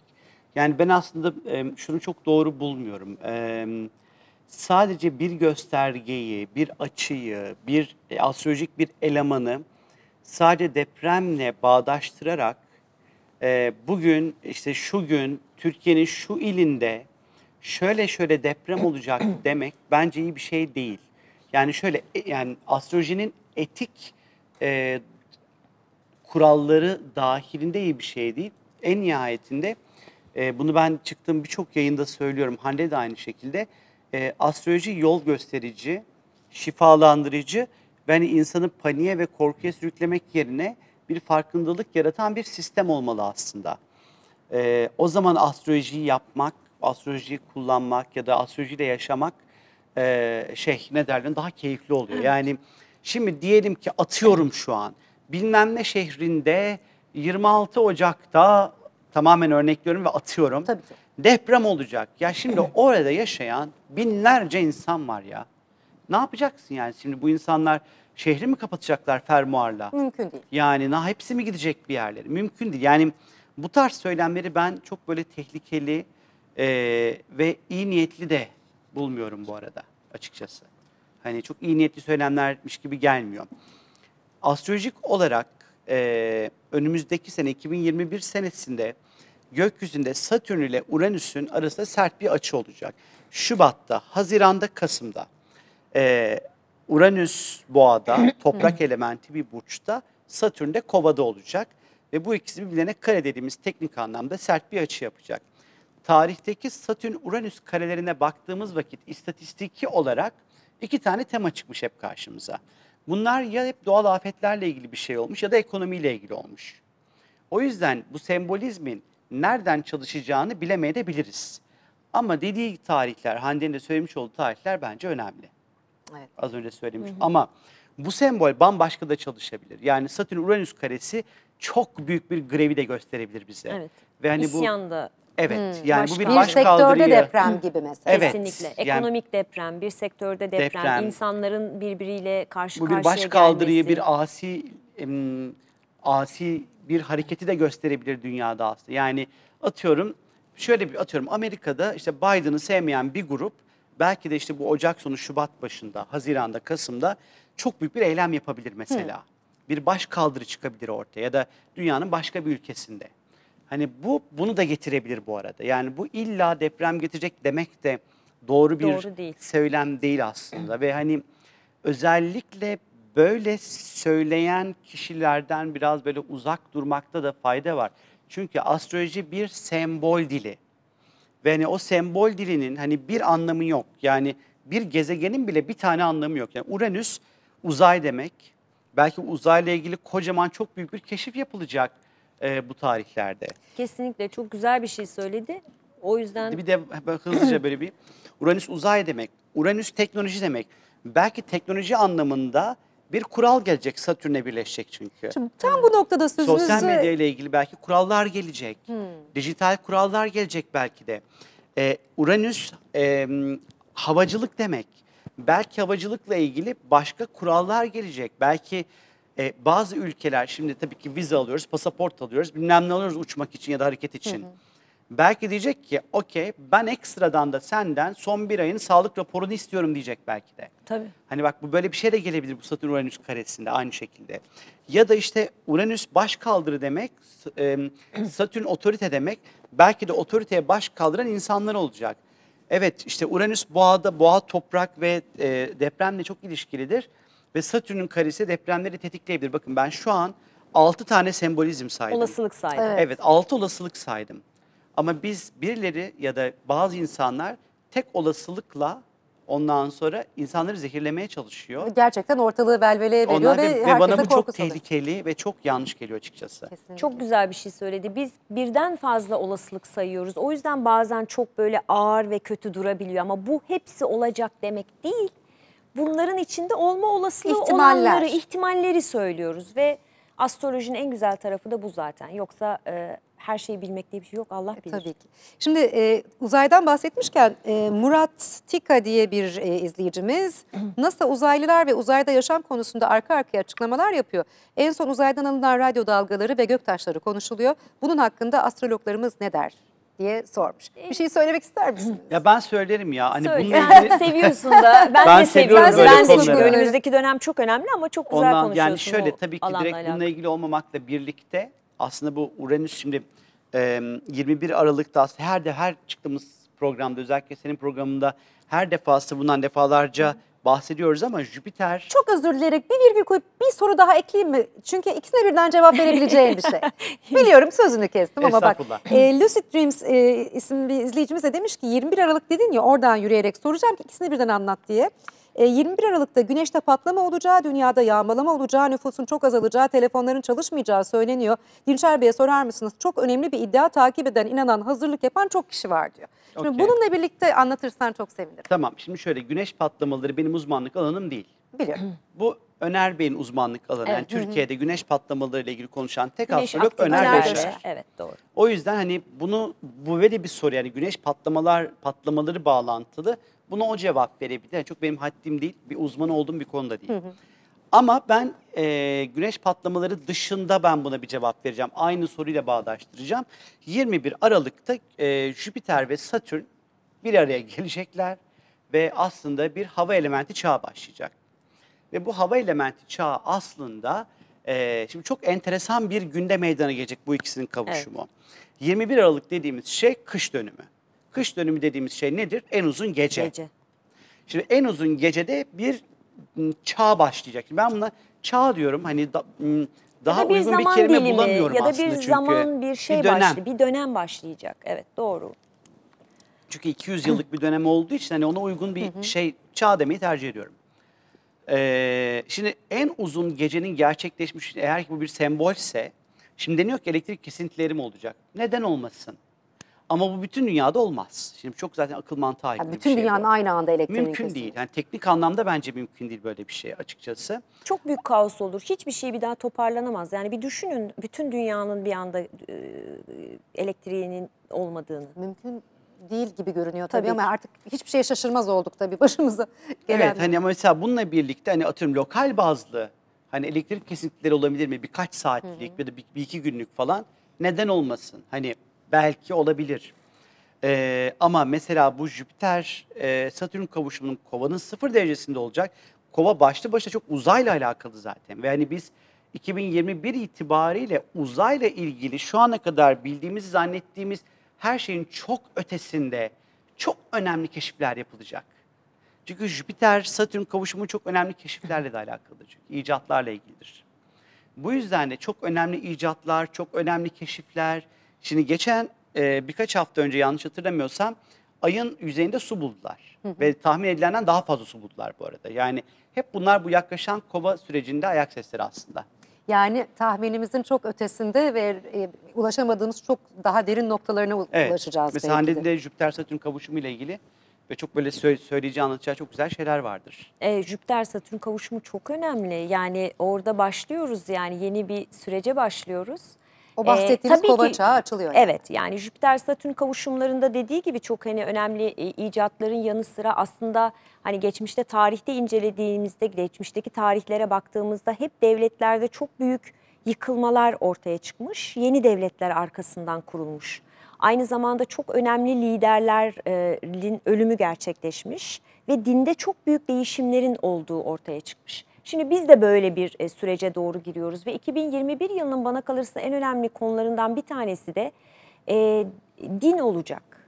Yani dinle ilgili olaylar, e, bunların çok fazla alanda farklı noktalara yayılması ve bunun sonucunda insanların kışkırtılması vesaire bunların çok önem kazanacağı. Biraz hani faşizm artacak diyoruz, biraz fanatiklik artacak diyoruz ama aynı zamanda Uranüs ve Satürn e, dik açısı e, şimdi e, liberalizmle e, yani yani faşizm demeyeceğim ama hani e, liberalizmle tutucu kesimin bir araya gelmesi, çarpışması anlamına da geliyor.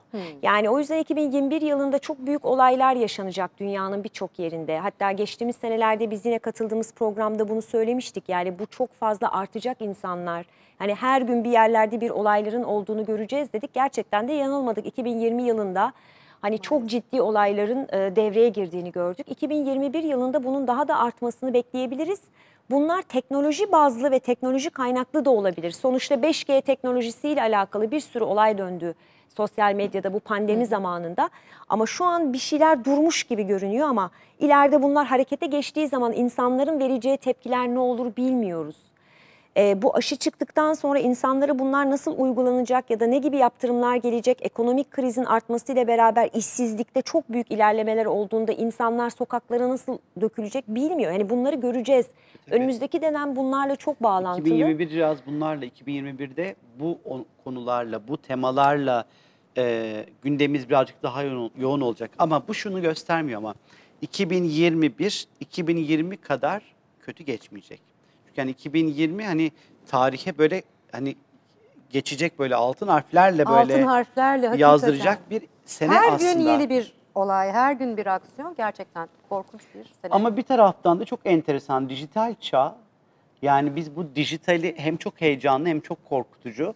Çünkü e, öyle bir süreç olacak ki bu hani e, ekonomi bir kere çok büyük bir ekonomik değişim bekliyor bizi. Yani artık her şeyin dijitalleşti. Sağlığın, ekonominin, e, sosyal ilişkilerin daha da böyle dijitalleşmeye başlayacağı ve e, çok önemli buluşların, çok önemli icatların ondan sonra meydana geleceği bir e, bir sürece giriyoruz aslında. E, yani şunu demek istiyorum. Bu gireceğimiz bu Satürn Jüpiter'le birlikte başlayacak olan bu yeni çağ ile birlikte biz birkaç seneye çok değil uzaya yolculuklar başlayacak mesela gibi. Hani bu tarz hani biraz daha böyle fantastiko bir şeyler söyleyeyim. Hani çok beklediğim şeyler bunlar benim tabii ki. Hani ne kadar fantastik gibi görünse de ama bir taraftan da hani artık biz e, biz şu an dijitali kullanıyoruz. Yani sonuçta bir noktada bir yerde benim kontrolümde bir yerde sözde. Hani işte atıyorum gece ben bu telefonu bırakıyorum sonuçta. Hani e, masanın üzerine yatıyorum vesaire ya da bir şekilde ben elektriği kapattığım anda bütün sistem bir dijitalden uzaklaşıyorum. Öyle bir noktaya gideceğiz ki dijital artık içimizde olacak bizim. Yani biz onu değil o bizi, bizi kullanacak gibi bir durum. İnsan Gibi. enerjisinden yararlanılacak Yani deniyor ya. Şimdi transhümanizm Evet. aslında burada benim bahsetmeye çalıştığım şey dijital ve insanın artık e, et ve kemik olarak birleşmesi. E ona da gitmiyor muyuz yani bu Robotlar pandemi çıktı. evet, hem robotlar çıktı hem de bu pandemiyle beraber şimdi sana gelip biri yarın öbür gün şunu söylesi yapmaz mısın? Koşa koşa yaparsın. Yani sana, sana öyle bir şey Ne diyecek? vereceğim ki aşı gibi. Ee? Hani bu bir daha örnek veriyorum akciğer hastalığına yakalanmayacaksın. Mümkün yapmam. Hayır şimdi tabii ki ama birçok insan hani korkan, Tabii. geleceğini düşünen birçok insan bunu yapacak ve e, gerçekten de hani o parçaları güzel gibi. değiştirecekler. Yani hakikaten o Tabii. parçalarla bir müddet sonra biz de yani DNA'mız buna uyum sağlamaya başlayacak ve biz de buna dönüşeceğiz gibi E geliyor bana. insan bana mesela korkunç yapısı, geliyor. insan şekli de değişmeye başlayacak. uzuvlar uzla, uzayacak, kısalacak vesaire. Ee, ve daha yani şöyle Avatar. şimdi ya avatar bilemem olabilir olamaz. Yani ya bir şekilde değişecek. Şimdi e, biz e, şeyi seviyoruz hani dokunmayı yani insan e, ilişki kurma şekli bağ kurmaya çalışır. Ee, ama hava elementi döneminde bizim artık kuracağımız bağ empati ve sempatini sempatiyle birlikte gelişen bir bağ olmayacak bu. İnsanlar biraz daha bireyselleşecek herhalde değil mi? Hayır. Nasıl? Şöyle, şimdi kova ile ilgili bir şey başladığı için aslında işte bireysellik çok fazla koçla ilişkilidir ama kova toplum içindir. Yani Toplum ve topluma faydalı bir şey yani öyle bir hareket yaparsın ki yaptığın hareket hem toplum için faydalıdır hem senin için faydalıdır. Yani hem ekiple çalışırsın hem de kendine de bir fayda yaratırsın. Aslında bu böyle bir süreç baktığımız vakit. Ee, hani insanın e, birazcık daha insanlık adına da daha iyi şeyler yapacağı ama bir o kadar da çok fazla dijit, dijital olmak, veriyle hareket etmek, data ile e, ilişki kurmak bizi duygularımızdan kopartmaya başlayacak. Yani ben artık daha zihinsel olmaya başlayacağım aslında.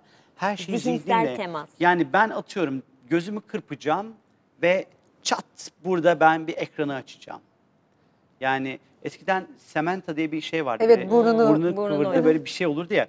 Ben belki hakikaten burnumu bilmem ne yapacağım. Bir, bir website, bir uygulamayı açacağım belki. Ya da bir göz kırpacağım, müziği hareketlendirmeye başlayacağım gibi. Hani benim bahsettiğim o dijital ve insanın birleşmesi biraz daha hani böyle bir etkisi de olacağını düşünüyorum. Evet.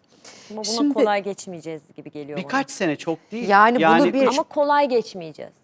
Bunu kanıksamak ve bunu uygulamaya geçmek Ama bir şey zaten hiç söyleyeyim. Karşı gelen ve gerçekten hani doğayla iç E bu içe Satürn olmak Uranüs isteyen. işte bu. Tabii işte yani İşte bu zaten 2021'de dünya ikiye ayrılacak. Bunu Yani isteyenler ve istemeyenler Eski olarak. dünya düzenini isteyen kişiler eski bu eski dünya için Eski düştük dünya işte böyle. Ee, bir de yeni dünya düzencileri olacak ve bunların arasında büyük bir kaos çıkacak aslında. Ya Ve tam da- yeniyi kabullenmeyenler acaba bir hayat bulma şansı elde edemeyecek mi acaba? Şimdi Hayır öyle bir şey düşünmüyorum çünkü şöyle düşün. Ee, bunu e, biraz da şimdi normal şartlar altında kuşaklar arası çatışma vardır ya. Bu aslında kuşaklar arası çatışmanın dijital versiyonu olacak aslında.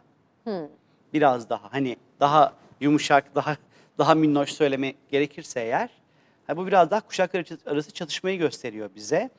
Ee, niye kolay kabule geç, geçilmeyecek? Çünkü hani ba- bazılarımız daha geleneksel tarafta olan yani dokunmayı, e, hissetmeyi, biriktirmeyi, şimdi sahip olma duygusu olan insanlar bunu sevmeyecek. Çünkü bu gireceğimiz yeni dönemde sahiplenme duygusuna çok izin verilmeyecek bir döneme giriyoruz aslında. Çünkü biz sürekli bir şeyleri elde etme odaklıyız. Benim evim, ev alayım. bir benim san- mülkiyetsizleştirme Evet. Evet, başlanacak. evet. de- Bir nevi, başlayacak bir nevi deniyor. aslında Yani, yani. hiçbir şeyin sahibi olmayın, her şeyi kiralayın. Ee, Mesela. gibi şeyler. ya da dünya senin evin aslında ona ihtiyacın yok. Biraz da görmeye çalıştığımız bu. Bu Evet. kadar didiniyoruz, uğraşıyoruz bütün hayatımız boyunca. Aslında hani hep e, kapitalizm öl- ölüyor, ölüyor dedik. Evet yani öyle bir döngüye doğru gidiyoruz ama e, öyle bir sistem içerisindeyiz ki zaten kapitalizm bence yok. Yani borçlanma sistemi içerisine gidiyoruz. Hayatımız borçlanma üzerine kurulu. Olmayan bir parayı harcıyoruz, devamlı Evet. bir borçla hayatımızı idame ettiriyoruz. Aslında bazı şeylerin artık gerçekten değişmesi lazım. Ama bu değişimler öyle kolay olacak değişimler değil gibi görünüyor. Biraz herkesin bu noktada uyanmaya ihtiyacı var. Yani işte bir eve sahip oluyorsun, bir saniyelik bir deprem gidebiliyor. Gidebiliyor. Yani her şey aslında insanlar için ve dünya bizim aslında alanımız. Evet ve daha Bu enteresan bir şey de olacak. Mesela diyeceksiniz ki hani bu olurken bu nasıl oluyor diyeceksin şimdi kuvvetli muhtemel. Ee, bir taraftan dijitale, dijitalleşmeye, dataya, veriye e, bu kadar yatırım yapılırken inanın bir taraftan da doğaya çok yatırım yapılacak. Dünya, doğa, yeşil, ağaçlandırma, yeşil, iklimlendirme. Hani çünkü çok ciddi bozulan bir ekosistem var. Evet. Ve bu ekosistemin bozulduğunun aslında farkındalar. Üstünde yaşayacak dünyamız kalmayacak. Aynen öyle. Ve aslında bu bir dünya bilincini oluşturacak.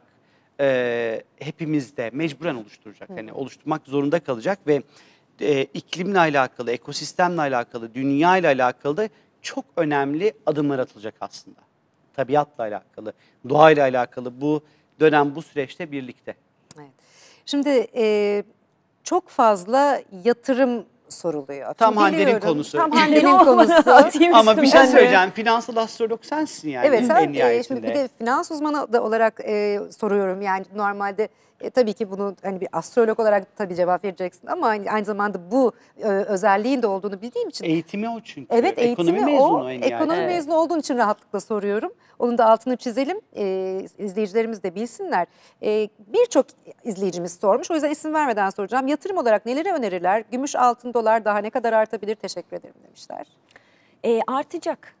Ben öyle söyleyeyim. Şimdi e, çok daha spesifik tarihler vermek istemiyorum. Çünkü bazen buna göre biz hep söylüyoruz bu bir yatırım tavsiyesi değildir. Biz e, ben evet benim e, alanım ben İstanbul Üniversitesi Ekonomi Bölümü mezunuyum ama hani bu alanda bir işim yok.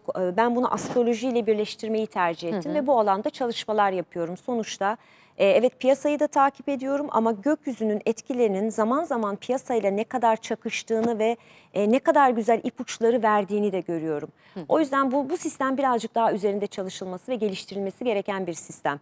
E, şunu söyleyebilirim, bütün bir yıl boyunca aslında 2020 yılı içerisinde en e, güvenli yatırımın altın olduğunu söyledik. E, özellikle altına yapılacak yatırımların e, çok değer kazanacağını söyledik. E, Ben mesela burada bir geriye gitme görmüyorum. Altının da e, önümüzdeki dönemde yükselişin devam edeceğini, aynı zamanda Türkiye'de yaşadığımız için bazen çünkü dünyada geri adımlar olabiliyor, e, düşüşler görülebiliyor ama Türkiye'de tam tersi dövizde çıkışlar olduğunu görebiliyoruz. Önümüzdeki süreçte e, yani yıl sonuna kadar e, hani dövizde, altında hareketliliğin devam edeceğini, özellikle de önümüzdeki hafta bu noktalarda önemli olduğunu Jüpiter Plüto e, kavuşumundan Jüpiter dolayı. Plüto kavuşumundan dolayı bütün dünya genelinde de önemli olacağını söyleyebilirim. Ama 2021'i soracak olurlarsa yine altın çok güvenli bir liman. Ama 2021'de kesinlikle değerli metaller ve gümüş. Ee, eğer yapıyorlarsa yatırımlarını paladyum, platin, e, platine e, kesinlikle yatırım yapabilirler ve tabii ki kripto paralar. Evet. Ama kripto paralarla ilgili şunu söyleyeceğim. 2021 yılı itibariyle ve şimdiden zaten e, bu hızlanma başladı. E, zaten bu e, 21 Aralık'taki e, oluşum, yeni oluşum kripto paraların çünkü e, biz Bitcoin'in haritasını kullanıyoruz elimizde e, o olduğu için. E, kripto paraların e, Bitcoin haritasında e, Merkür ve Jüpiter ile birleşiyor. 20 yıllık bir döngü başlatıyor orada. E, burada 20 yıllık bir döngü başlattığı için önümüzdeki dönem sadece Bitcoin değil onun türevleri, tabii. Ethereum vesaire onlar Bir sürü başka dijital çok bir sürü başka çünkü. dijital paraların çok hızlı bir şekilde hani hayatımızda yer etmeye başlayacağını, artık insanların bunu fark edeceğini ve daha fazla yatırıma bu alana e, gideceğini söyleyebilirim. Ama sanıyorum buraya notumu almamışım ama ya Mart ya Nisan ayında çok da büyük bir e, sıkıntı var orada. Yani güvenlik açığı olacak. Yani orada bir e, problem de yaşanabilir. Hani bu Mart ve Nisan ayı dikkatli olmakta fayda var. Kripto paralarda 2021 yılı ondan sonra çok önemli e, güvenlik önlemleri alınacak. Daha değişik uygulamalar devreye girecek. Ondan sonra daha da güvenli olacak ve daha fazla insan da buralara yatırım yapacak diye düşünüyorum. Evet. Şimdi çok fazla soru var. Çok da ilginç sorular geliyor aslında. Ee, bir tane daha sorayım sonra artık şu gün gün Kasım ayına bir bakalım Evet, isterseniz. Ee, evet. Vaktimiz daralıyor çünkü. Dinçer sana sormuşlar. Ee, diyorlar ki güneş tutulmasında yani o gün tutulduğu gün doğan e, çocuklar nasıl olur? Yani onların hayatı nasıl olur? Onların üzerinde çok mu etkili olur e, bu gezegenlerin durumu nedir diye sorarlar. Ee, şimdi gün, şimdi gerçekleşen tutulmanın kuzey ayağında mı yoksa güney ayağında mı olduğunu bilmek gerekiyor aslında ki ona göre daha doğru bir cevap verebileyim. Eğer ki kuzey ay düğümü tarafında bir tutulmayla geliyorsa kişi bu onun için daha büyük avantajları getirir yaşamda. Ki daha ilerler, daha bilinci açık olur, daha başarı ya daha yakın olabilir. Ee, bir de güneş eğer ki otorite kurmak ve babayla ilgilidir. Güney tarafında tutuluyorsa bu işte otorite ve babayla problemler, kuzey tarafında tutuluyorsa eğer kişinin yaşamında otorite kazanmasına yardımcı olur. E bu iyi bir şey o zaman. Yani çünkü anladığım kadarıyla izleyicimiz sorarken e, hani birazcık da korkarak e, sormuştu. Şimdi Bir de diyorlar ki dünya bizim evimiz diyen e, dediler. E, bundan sonra pasaportların kalkması söz konusu olabilir mi acaba gibi bir soru. Pandemiden önce, pandemi bitmeden pasaportların kalkacağını düşünmüyorum. Hatta yani ekstra ekstra e, kurallar işte dediğim gibi belki diyecek ki sana son bir aylık dinlenme testini getir.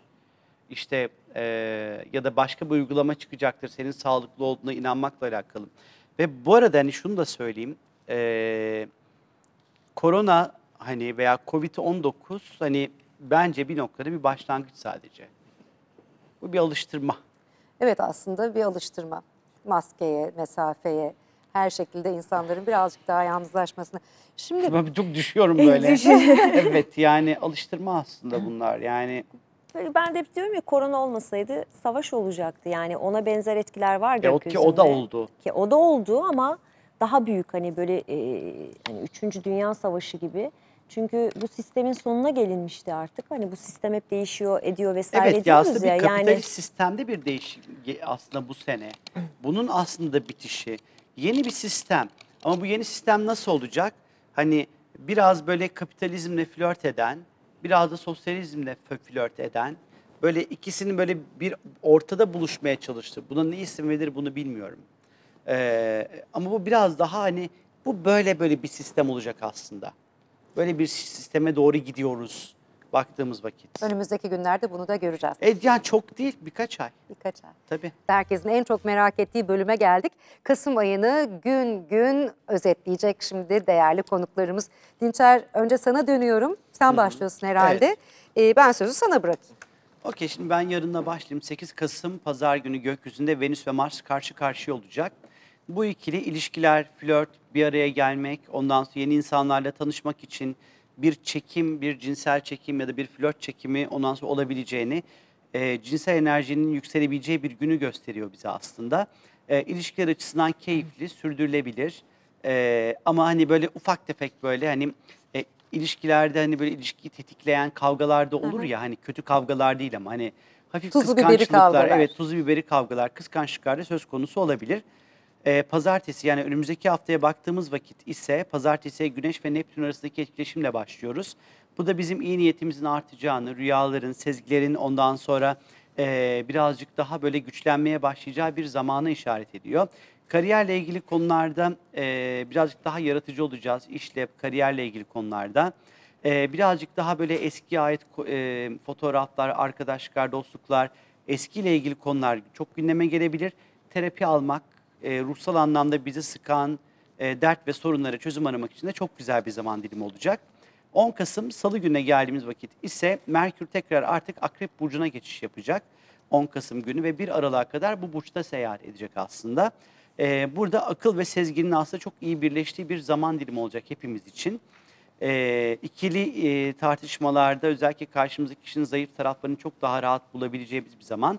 Ee, yatırımla ilgili konularda bir aralığa kadar zihnimiz, aklımız çok iyi çalışacak. Ee, çok derin ve çok büyük, çok güçlü araştırmalar yapabiliriz. 11 Kasım'a geldiğimiz vakit ise 11 Kasım günü e, günün büyük bir çoğunluğu aslında boşlukta geçecek. 11 Kasım gününe özellikle akşam 19.09'a kadar çok önemli işlerimizi e, getirmememizde fayda Bu var. ay boşlukta dediğimiz Evet günlerden. evet ay boşlukluğu dediğimiz günlerden bir tanesi. Ee, hani çok önemli işler, toplantılar, bitmesini beklediğimiz, sonuçlanmasını istediğimiz konuları getirmeyelim. Çünkü havada kalabilir, askıda kalabilir ve sonuçlanmayabilir. Ee, 12 Kasım Jüpiter Plüto birlikteliği var Oğlak Burcu'nda. Bunlar birazcık daha yatırım, iş kariyerle ilgili önemli adımlar, yatırım yapmak için Kasım'ın artık geri kalan 15 günü. Bunlarla ilgili belki böyle adımlar atılabilir, iş bulunabilir, iş başvuruları yapılabilir, iş görüşmeleri yapılabilir, para kazanma kaynakları yönetilebilir. Para kazanmakla ilgili ondan sonra çok önemli adımlar atılabilir. 12 Kasım takip eden 10-15 günlük dönem içerisinde.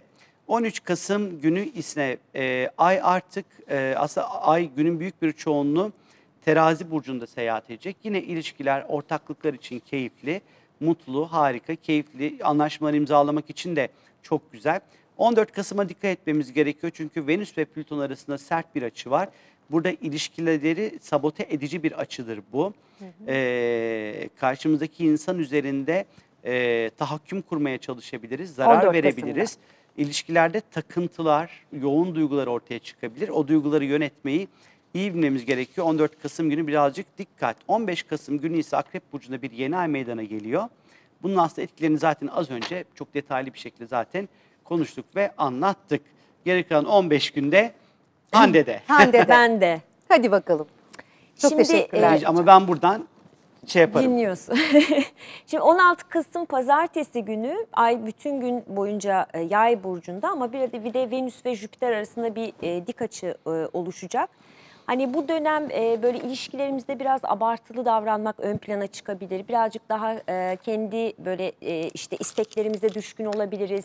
Yemek yemeye, içmeye, e, böyle zevk, zevklere düşkün olduğumuz bir dönemi temsil ediyor. İşte lüks ve pahalı alışverişler yapıyorsak aslında harcamalarımızın da artacağı bir dönem. Dikkatli olmakta fayda var ama diğer taraftan bu Jüpiter'le Venüs'ün kontağı hani bunu çok rahatlıkla yapabileceğimizi de gösteriyor. Ee, yine e, tabii Venüs ve Jüpiter arasındaki bu dik açıdan kaynaklı olarak biraz da böyle güzellikle ilgili bir konuda hani çok abartılabilir. O gün kuaföre gideceklerse, üzerlerine bir şey alacaklarsa vesaire biraz isteklerinin dışında e, etkiler devrede olabilir. Bunu da hemen söylemiş olalım 16 Kasım itibariyle. 17 Kasım Salı günü e, özellikle Merkür ve e, Uranüs'ün karşı karşıya geldiğini e, görüyoruz. İşte sınırları aşmak, elde etmek bunların önem kazandığı bir dönem. Bizi kısıtlayan koşullardan ve konulardan uzak durmak isteyebiliriz bu dönem içerisinde. Ee, yine motive olmak konusunda, başkalarını harekete geçirmek konusunda gayet güzel ama bize biri bir şey söylediği zaman ona hemen tepki göstermeye de meyilli olabiliriz. Yani ne yapılması gerektiği söylendiği zamanlarda bu babamız olabilir, patronumuz olabilir, sevdiğimiz insan olabilir. Hemen ilk etapta hani buna çok büyük tepkiler verebiliriz, sıkılganlıkla hareket edebiliriz. Bunlar için e, dikkatli olmakta fayda var. Tabii ki kazaları da açık bir gün olabilir. 18 Kasım'a geldiğimizde 18 e, Kasım çarşamba günü ay tüm gün e, Oğlak Burcu'nda hareket edecek. Yani hani işle ilgili konular, işleri toparlama, görüşmeler yapma. Hani duygusal konulardan ziyade böyle e, nasıl diyeyim hani... E, her şeyi toparlamak ve düzeni oluşturmak için harekete geçeceğimiz zamanlar. İşte hesapları e, elden geçirebiliriz. Kendi kendimize yetebiliriz. Biraz kendimizle olmak önem kazanabilir. Kimseye dokunmak istemeyebiliriz. Duygusal tarafımızı ön plana çıkartmak istemeyebiliriz. Bunlar daha çok e, devrede olabilir. Ay Oğlak 18'i. Evet eğer hani bizi izliyorlarsa ay oğlak zamanındayken öyle hani dişlerle alakalı, ciltle alakalı herhangi bir işlem yapılmaması tercih edilir. Ee, genelde bu alanlar yönetildiği için romatizmal e, rahatsızlıklara da dikkat etmekte fayda var. 19 Kasım e, Perşembe günü önemli. Çünkü yine hani tam da Venüs terazi hadi bakalım bir gidelim bir güzelleşelim dediğimiz noktada Venüs'ün Satürn'e bir dik açısı devrede olacak. Bugünler sevgimiz sevgi konusunda biraz hani soğuk e, olabiliriz ya da se- karşı tarafın bize soğuk davrandığını zannedebiliriz.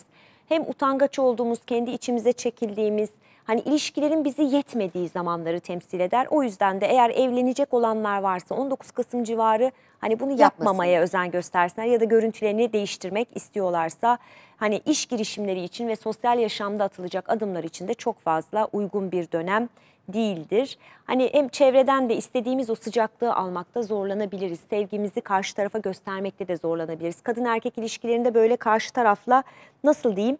Hani bir duvar varmış gibi, bir mesafe varmış gibi hissedebiliriz bugünlerde. Şimdi 20 Kasım Cuma e, Ay Kova burcunda e, hareket ediyor. Bir kere e, zihinsel faaliyetlerin çok hızlandığı bir zaman dilimini temsil ediyor Ay Kova.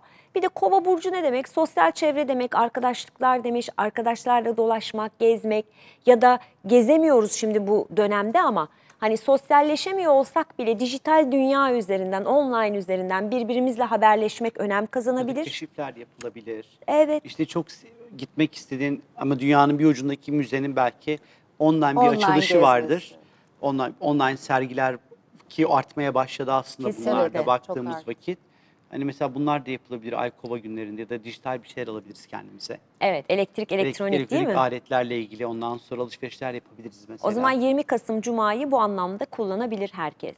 Yani e, işte böyle elektrik, elektronik e, bir takım e, eşyalar alacaklarsa. E, yine mesela astrolojiye daha fazla ilgili Tabii. olabiliriz o günlerde. Daha fazla astrologlarla iletişim halinde olabiliriz. Bilgiyi buralardan alabiliriz. İnternette bol bol gezinebiliriz dediği gibi kesinlikle katılıyorum. Ee, yine 21 Kasım Cumartesi günü de e, Ay tüm gün Kova burcunda hareket edecek ama bugünün önemli bir özelliği Güneş artık Yay burcuna geçiyor. Benim en sevdiğim zamanlar. e, genelde Güneş Yay burcuna geçtiği zaman bir hareketlenme görülür hayatımızda. Bir ateş enerjisiyle yeniden sarılı oluruz. Ee, hani o yayın, o e, fütursuz, o böyle hareketli, o başka insanları düşünmeden hareket eden Gamsız. enerjisi gibi düşünelim bütün Akrebin bunları. karanlık dünyası bitiyor çünkü. Evet. Kendi Akrep inimizden çıkıyoruz. hep böyle karanlıktır. Hani hep böyle e, şimdi biz tam akrep dönemindeyiz şu an. Evet. Ve hani hep böyle gizlilik içinde yapılan işler, karanlık durumlar, niyetimizi çok böyle belli etmek istemeyebiliriz. E, ve hani akrep dönemi hep böyle birazcık da hani böyle dediği gibi kendi elimizde kapanıp e, kimsenin böyle araştırmadığı, bilmediği, etmediği, tabu belki sayılan konulara daha fazla odaklandığımız ama hep kriz yönettiğimiz bir aydır aslında akrep ayı. kasvetlidir hep. Evet ve hep kriz yönetiriz aslında. Yani bir kriz ya büyük veya küçük ya da vergilerin, borçların, kredilerin, banka işlemlerinin, muhasebe işlerinin çok daha fazla böyle gündeme gelmiş olduğu bir zaman dilimidir. Çünkü akrep dönemi doğaya bakın aslında, tabiata ve doğaya bakın. Ee, her şey çürümeye başlar. Evet. Yaprakları artık iyice dökülür. Çıplak Ee, kalır ağaçlar, artık her şey. ağaçlar çıplak kalır dediği gibi e, bir bitiş başlar aslında. Yani bir sonlanma başlar ve hani daha kurşuni bir e, atmosfer vardır aslında. Yani mevsimsel olarak da baktığımız vakit hani e, Kasvet. kasvet vardır ama tam 21 Aralık on, aman 21 Kasım Güneş Ay'a geçiyor. Çingene ruhu başlıyor. Vur patlasın çal oynasın. Eller havaya. Eller havaya. Tam da işte e, yeni yıl yaklaşıyor. Yeni umutlar, Evet. insanlarla kaynaşma, yeni dönem, herkesin umut ve beklentisinin artması, gezme, dolaşma. Çünkü bu yay burçları çok zorlandı bu geçtiğimiz pandemi döneminde. Çünkü gezmeyi, dolaşmayı yay burcu kadar seven bir başka burç, Burç yoktur. yok, değil mi? Ee, ama dediğim gibi artık çok rahat online üzerinden, dijital dünya üzerinden de bunu yapabiliyoruz ama gerçekten gezmek, dolaşmak ya da dediğim gibi yeni şeyler öğrenmek, yeni insanlarla buluşmak ya da e, bir şekilde insanların hayatında olup bitenleri merak etmek anlamında Güneşin yay burcuna geçiyor olması o ateş enerjisinin, sıcacık ateş enerjisinin ruhlarımızı yeniden bir üflemesi böyle bir, Aman ruh- oh bir güzel. hareketlenmesi devrede olacak. Hani bu yüzden de 21 Kasım güzel bir gün. Ticari ilişkiler de gelişebilir. Kesinlikle. Yeni bir dil öğrenebiliriz. Yeni bir kültür öğrenebiliriz. Bir sürü kitap okuyabiliriz. Ya da diyelim ki sen bir kitap okudun atıyorum Türkiye'de e, atıyorum Kars'la ilgili bir kitap okudun diyelim. Ya da bir şey gördün. E, yay burcu ne yapmak ister? E, Hemen gidip görmek ister Evet, orayı. mesela ikizler daha zihinseldir. Hani okur ve hani bilgiyi alır ve o bilgiyi atıyorum ben okudum sana satarım. Ama yay o bilgiyi Görmek, alır ve der ki aa hadi gidelim buraya.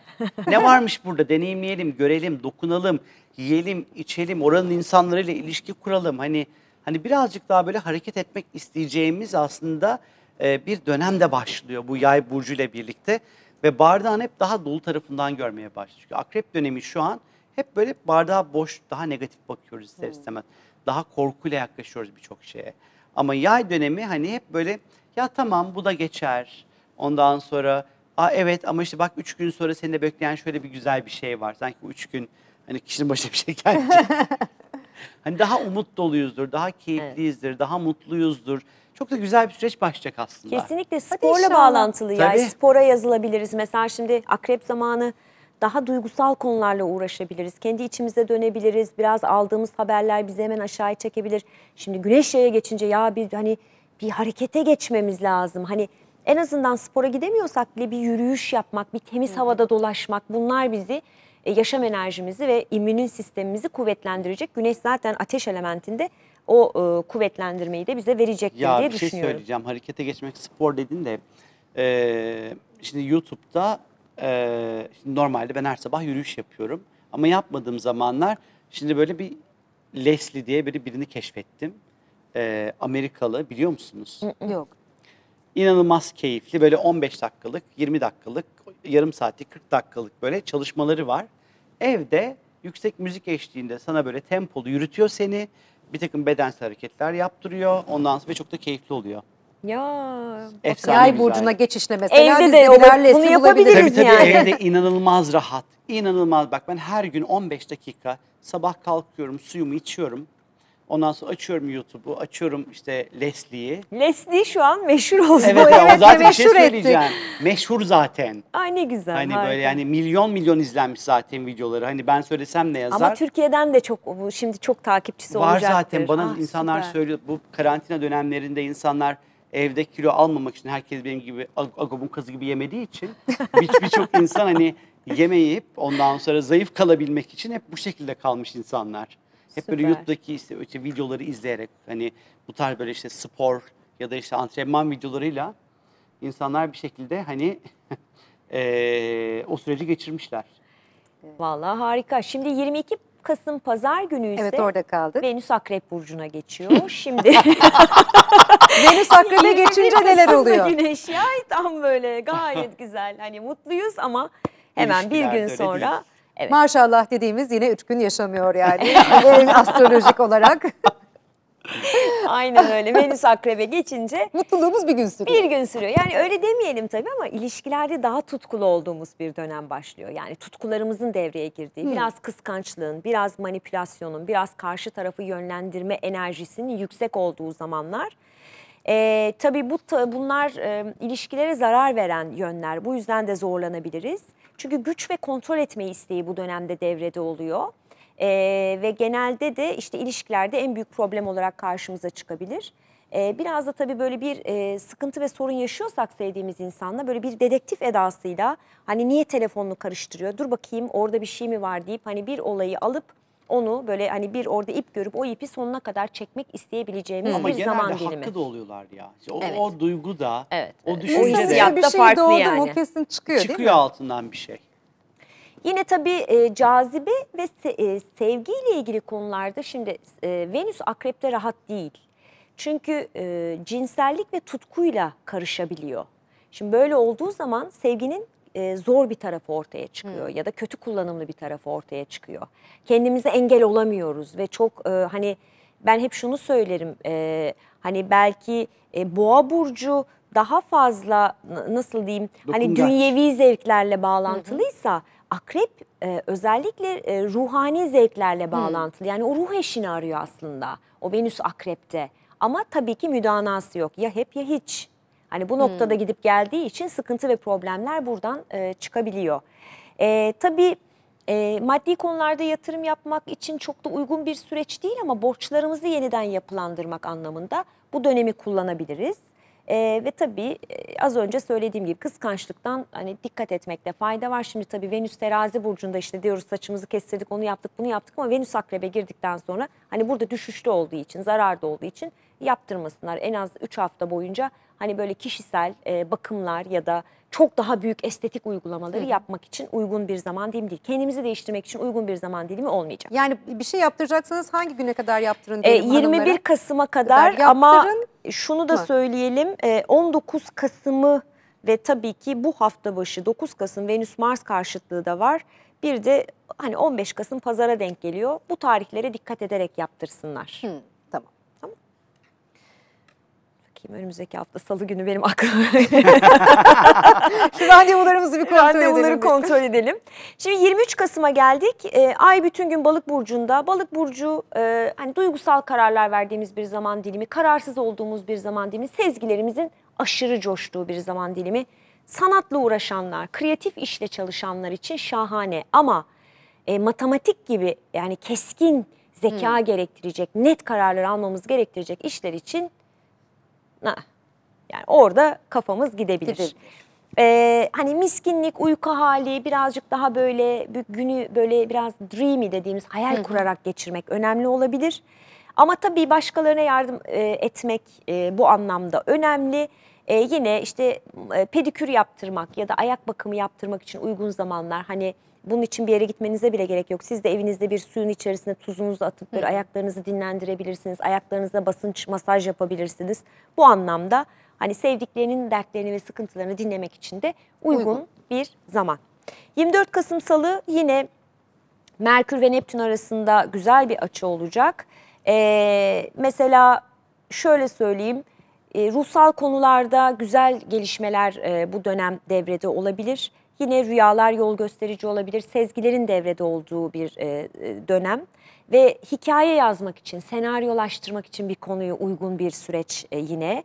Yani spiritüel anlamda tatmin ve huzurun devrede olduğu bir süreç olacak. Sanat alanında kullanabiliriz. Çünkü balık denince ve özellikle de Merkür ve Neptün açılarını gördüğümüzde Fotoğraf sanat, çekmek aslında. sanat, sanat diyoruz. Tabii. Fotoğraf, Kitap yazmak, fotoğraf çekmek falan Evet, gibi atıyorum ya da fotoğraf çekmeyi öğrenmek adına bir eğitime de başlanabilir. Tabii, tabii ki. Merkür, Çok güzel. Neptün hani sanatın eğitimine başlamak belki Evet. de. Bir de başkalarına Senaryo yardım yazabilmenin etmek. eğitimine başlamak veya. Çok, Çok güzel, güzel, olabilir. bence. Hangi günde kaldık? Son 5 dakikamızmış. 25 Kasım'dayız. Zaten 30 Kasım'ı hani anlattık onu anlatmayacağım. 25 Kasım'da Ay tüm gün Koç burcunda e, seyahat ediyor. Dışa dönük, enerjik ve dinamik olduğumuz bir zaman dilimi. E, yine fikirler e, ön planda, hedefler, cesur olacağımız bir zaman dilimi. Ama sakarlıklara da açık bir zaman dilimini temsil ediyor. Şimdi Ay Koç burcunda rahat bir konumda değil.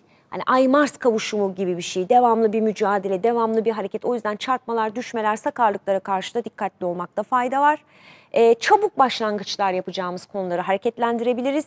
Buradan kesinlikle bunu çok net söyleyebilirim. Ay Koç burcundayken kesinlikle ve kesinlikle yüz bölgesine estetikle ilgili bir operasyon olmaması gerekiyor.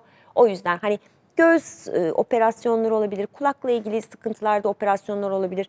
Yine yüzle alakalı konularda dikkatli olsunlar. Ay Koç zamanında 25 ve 26 Kasım burada e, devrede olacak. 26 Kasım'da da aynı Güneş ve Şiron arasında da güzel bir etkileşim devrede. Maneviyatımız artacak, başkalarına yardımcı olacağız. 27 Kasım Cuma gününe geldiğimizde hemen sabah saatlerinde Boğa burcuna geçiş yapıyor Ay ve tabii ki Venüs ve Uranüs karşı karşıya kalacaklar. Yani ilişkilerde sıkılganlıklar, asi hareketler, baş kaldırışlar devrede olabilir. Çabuk sıkılacağız ve çabuk tepkiler vereceğiz. Özgürlük ihtiyacımız yüksek olacak.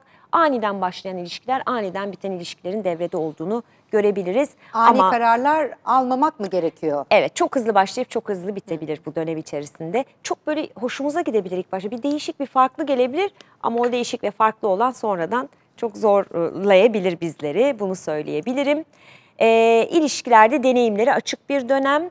Ve 28 Kasım Cumartesi'ne geldik. Tüm gün boyunca Ay Boğa Burcu'nda seyahat edecek. Yani keyif ve hazlara yönelik bir dönem, yemeye içmeye yönelik bir dönem. Ee, Ay Boğa Burcu'ndayken zaten Dinçer çok güzel Benim en videolar çekiyor. zaman o ya. Biz de onları hep izliyoruz Mantılar, zaten. kekler, Aynen. börekler. Yani ama Aynen. hakikaten insan yarınlar yokmuş gibi yiyor o dönemlerde. O da öyle de bir durum söz konusu yani. evet Yani ama onu gerçekten istiyorsun. çok ilginç. gerçekten istiyorsun. bir şey Çok istiyor ya, bir ilginç. tatlı Evet, istiyor canım, evet. bir şey istiyor yani. Onu Yani- kontrol altında tutmak. dokunma, tad alma, e, anın tadını çıkarma, masaj yapma. Yani beş duyumuzu harekete geçirebiliriz Ay Boğa'dayken. E, ve tabii ki de e, daha böyle size keyif veren konularla uğraşmak için de uygun. Ama parasal konularla da uğraşmak için uygun ama cumartesiye denk geliyor. Pazar günü de 29 Kasım Pazar günü de e, ay boşlukta olacak öğle saatlerinde ve akşam saatleri itibariyle hızlanacağız. Çünkü Ay İkizler Burcu'na geçiyor. İşte fikirler çok hızlı. Ee, aynı zamanda hani aile, evlilik, evlilik için aileleri tanıştırmak, imza atmak, sözleşme gerektiren işleri halletmek, seyahat yapmak, ticari faaliyetleri hızlandırmak anlamında pazar akşam saatlerini kullanabiliriz ve tüm gün boyunca da önemli yeni gelecek haftanın uygulamalarını hayatımıza geçirebiliriz. Zaten 30 Kasım pazartesi Ay İkizler Burcu'nda yine bu hareketliliğin devam ettiği bir süreç Tutulma ama var zaten. orada da bir tutulma devreye girecek. Bu tutulma ile ilgili detayları zaten çok ince ayrıntısına kadar anlattık. Zaten hani internet üzerinden kanallarımızdan da izleyebilirler. Şimdi e, genel olarak evlilikle ilgili şöyle bir soru geliyor. E, çok ya, fazla insan İlkincim, sormuş. senin bu evlilikle ilgili sor. Vallahi ben benimle hiç alakası yok evlilik olayının. E, fakat gelen soruları soruyorum. Hem e, 20 Hep ilişkiler. 2020'de evlen yani hala evlenemeyip ama yani evleneceği kişiyi bulmuş. Sadece gün istiyor yani ne zaman uygun 2021'de mi? E, hem 2020'de isteyenler var hem de 2021'in ilk aylarında isteyenler var. Şimdi e, onu biz bir sonraki programa saklayalım bu bilgiyi o zaman. Orada tamam. anlatalım. Tamam. E, hani şu an açık ezberden bir şey söylemek çok doğru olmaz. E, bir bakıp ve o notlarla gelmek Sen zaten gerekiyor. ama e, bununla ilgili çok böyle kendi hani hani sosyal medya Evet hesaplarından sen da her gün paylaşıyorum. sen gün zaten. Hani, paylaşıyorsun ama hani bir zaten. sonraki buraya geldiğimizde hani özellikle e, ilişkiler ve aşkla ilgili 2021'de Aa, evlilik güzel, zamanlarını ilişkiye ne zaman başlanır, ne zaman Aa, imza harika. atılır. Tamam. Buna böyle özel bir paragraf açarız. Tamam. Detaylı bu bilgiyi verir. Bu da bizim manşet konumuz olur. Tamam. Bir sonraki programda Güzel. bunu yapacağız o zaman. Bu arada e, son bir şey sormak istiyorum. E, süremiz dolmuş ama 18 Kasım yılın en uğurlu günü müdür diye bir soru var. Böyle bir şey var mı?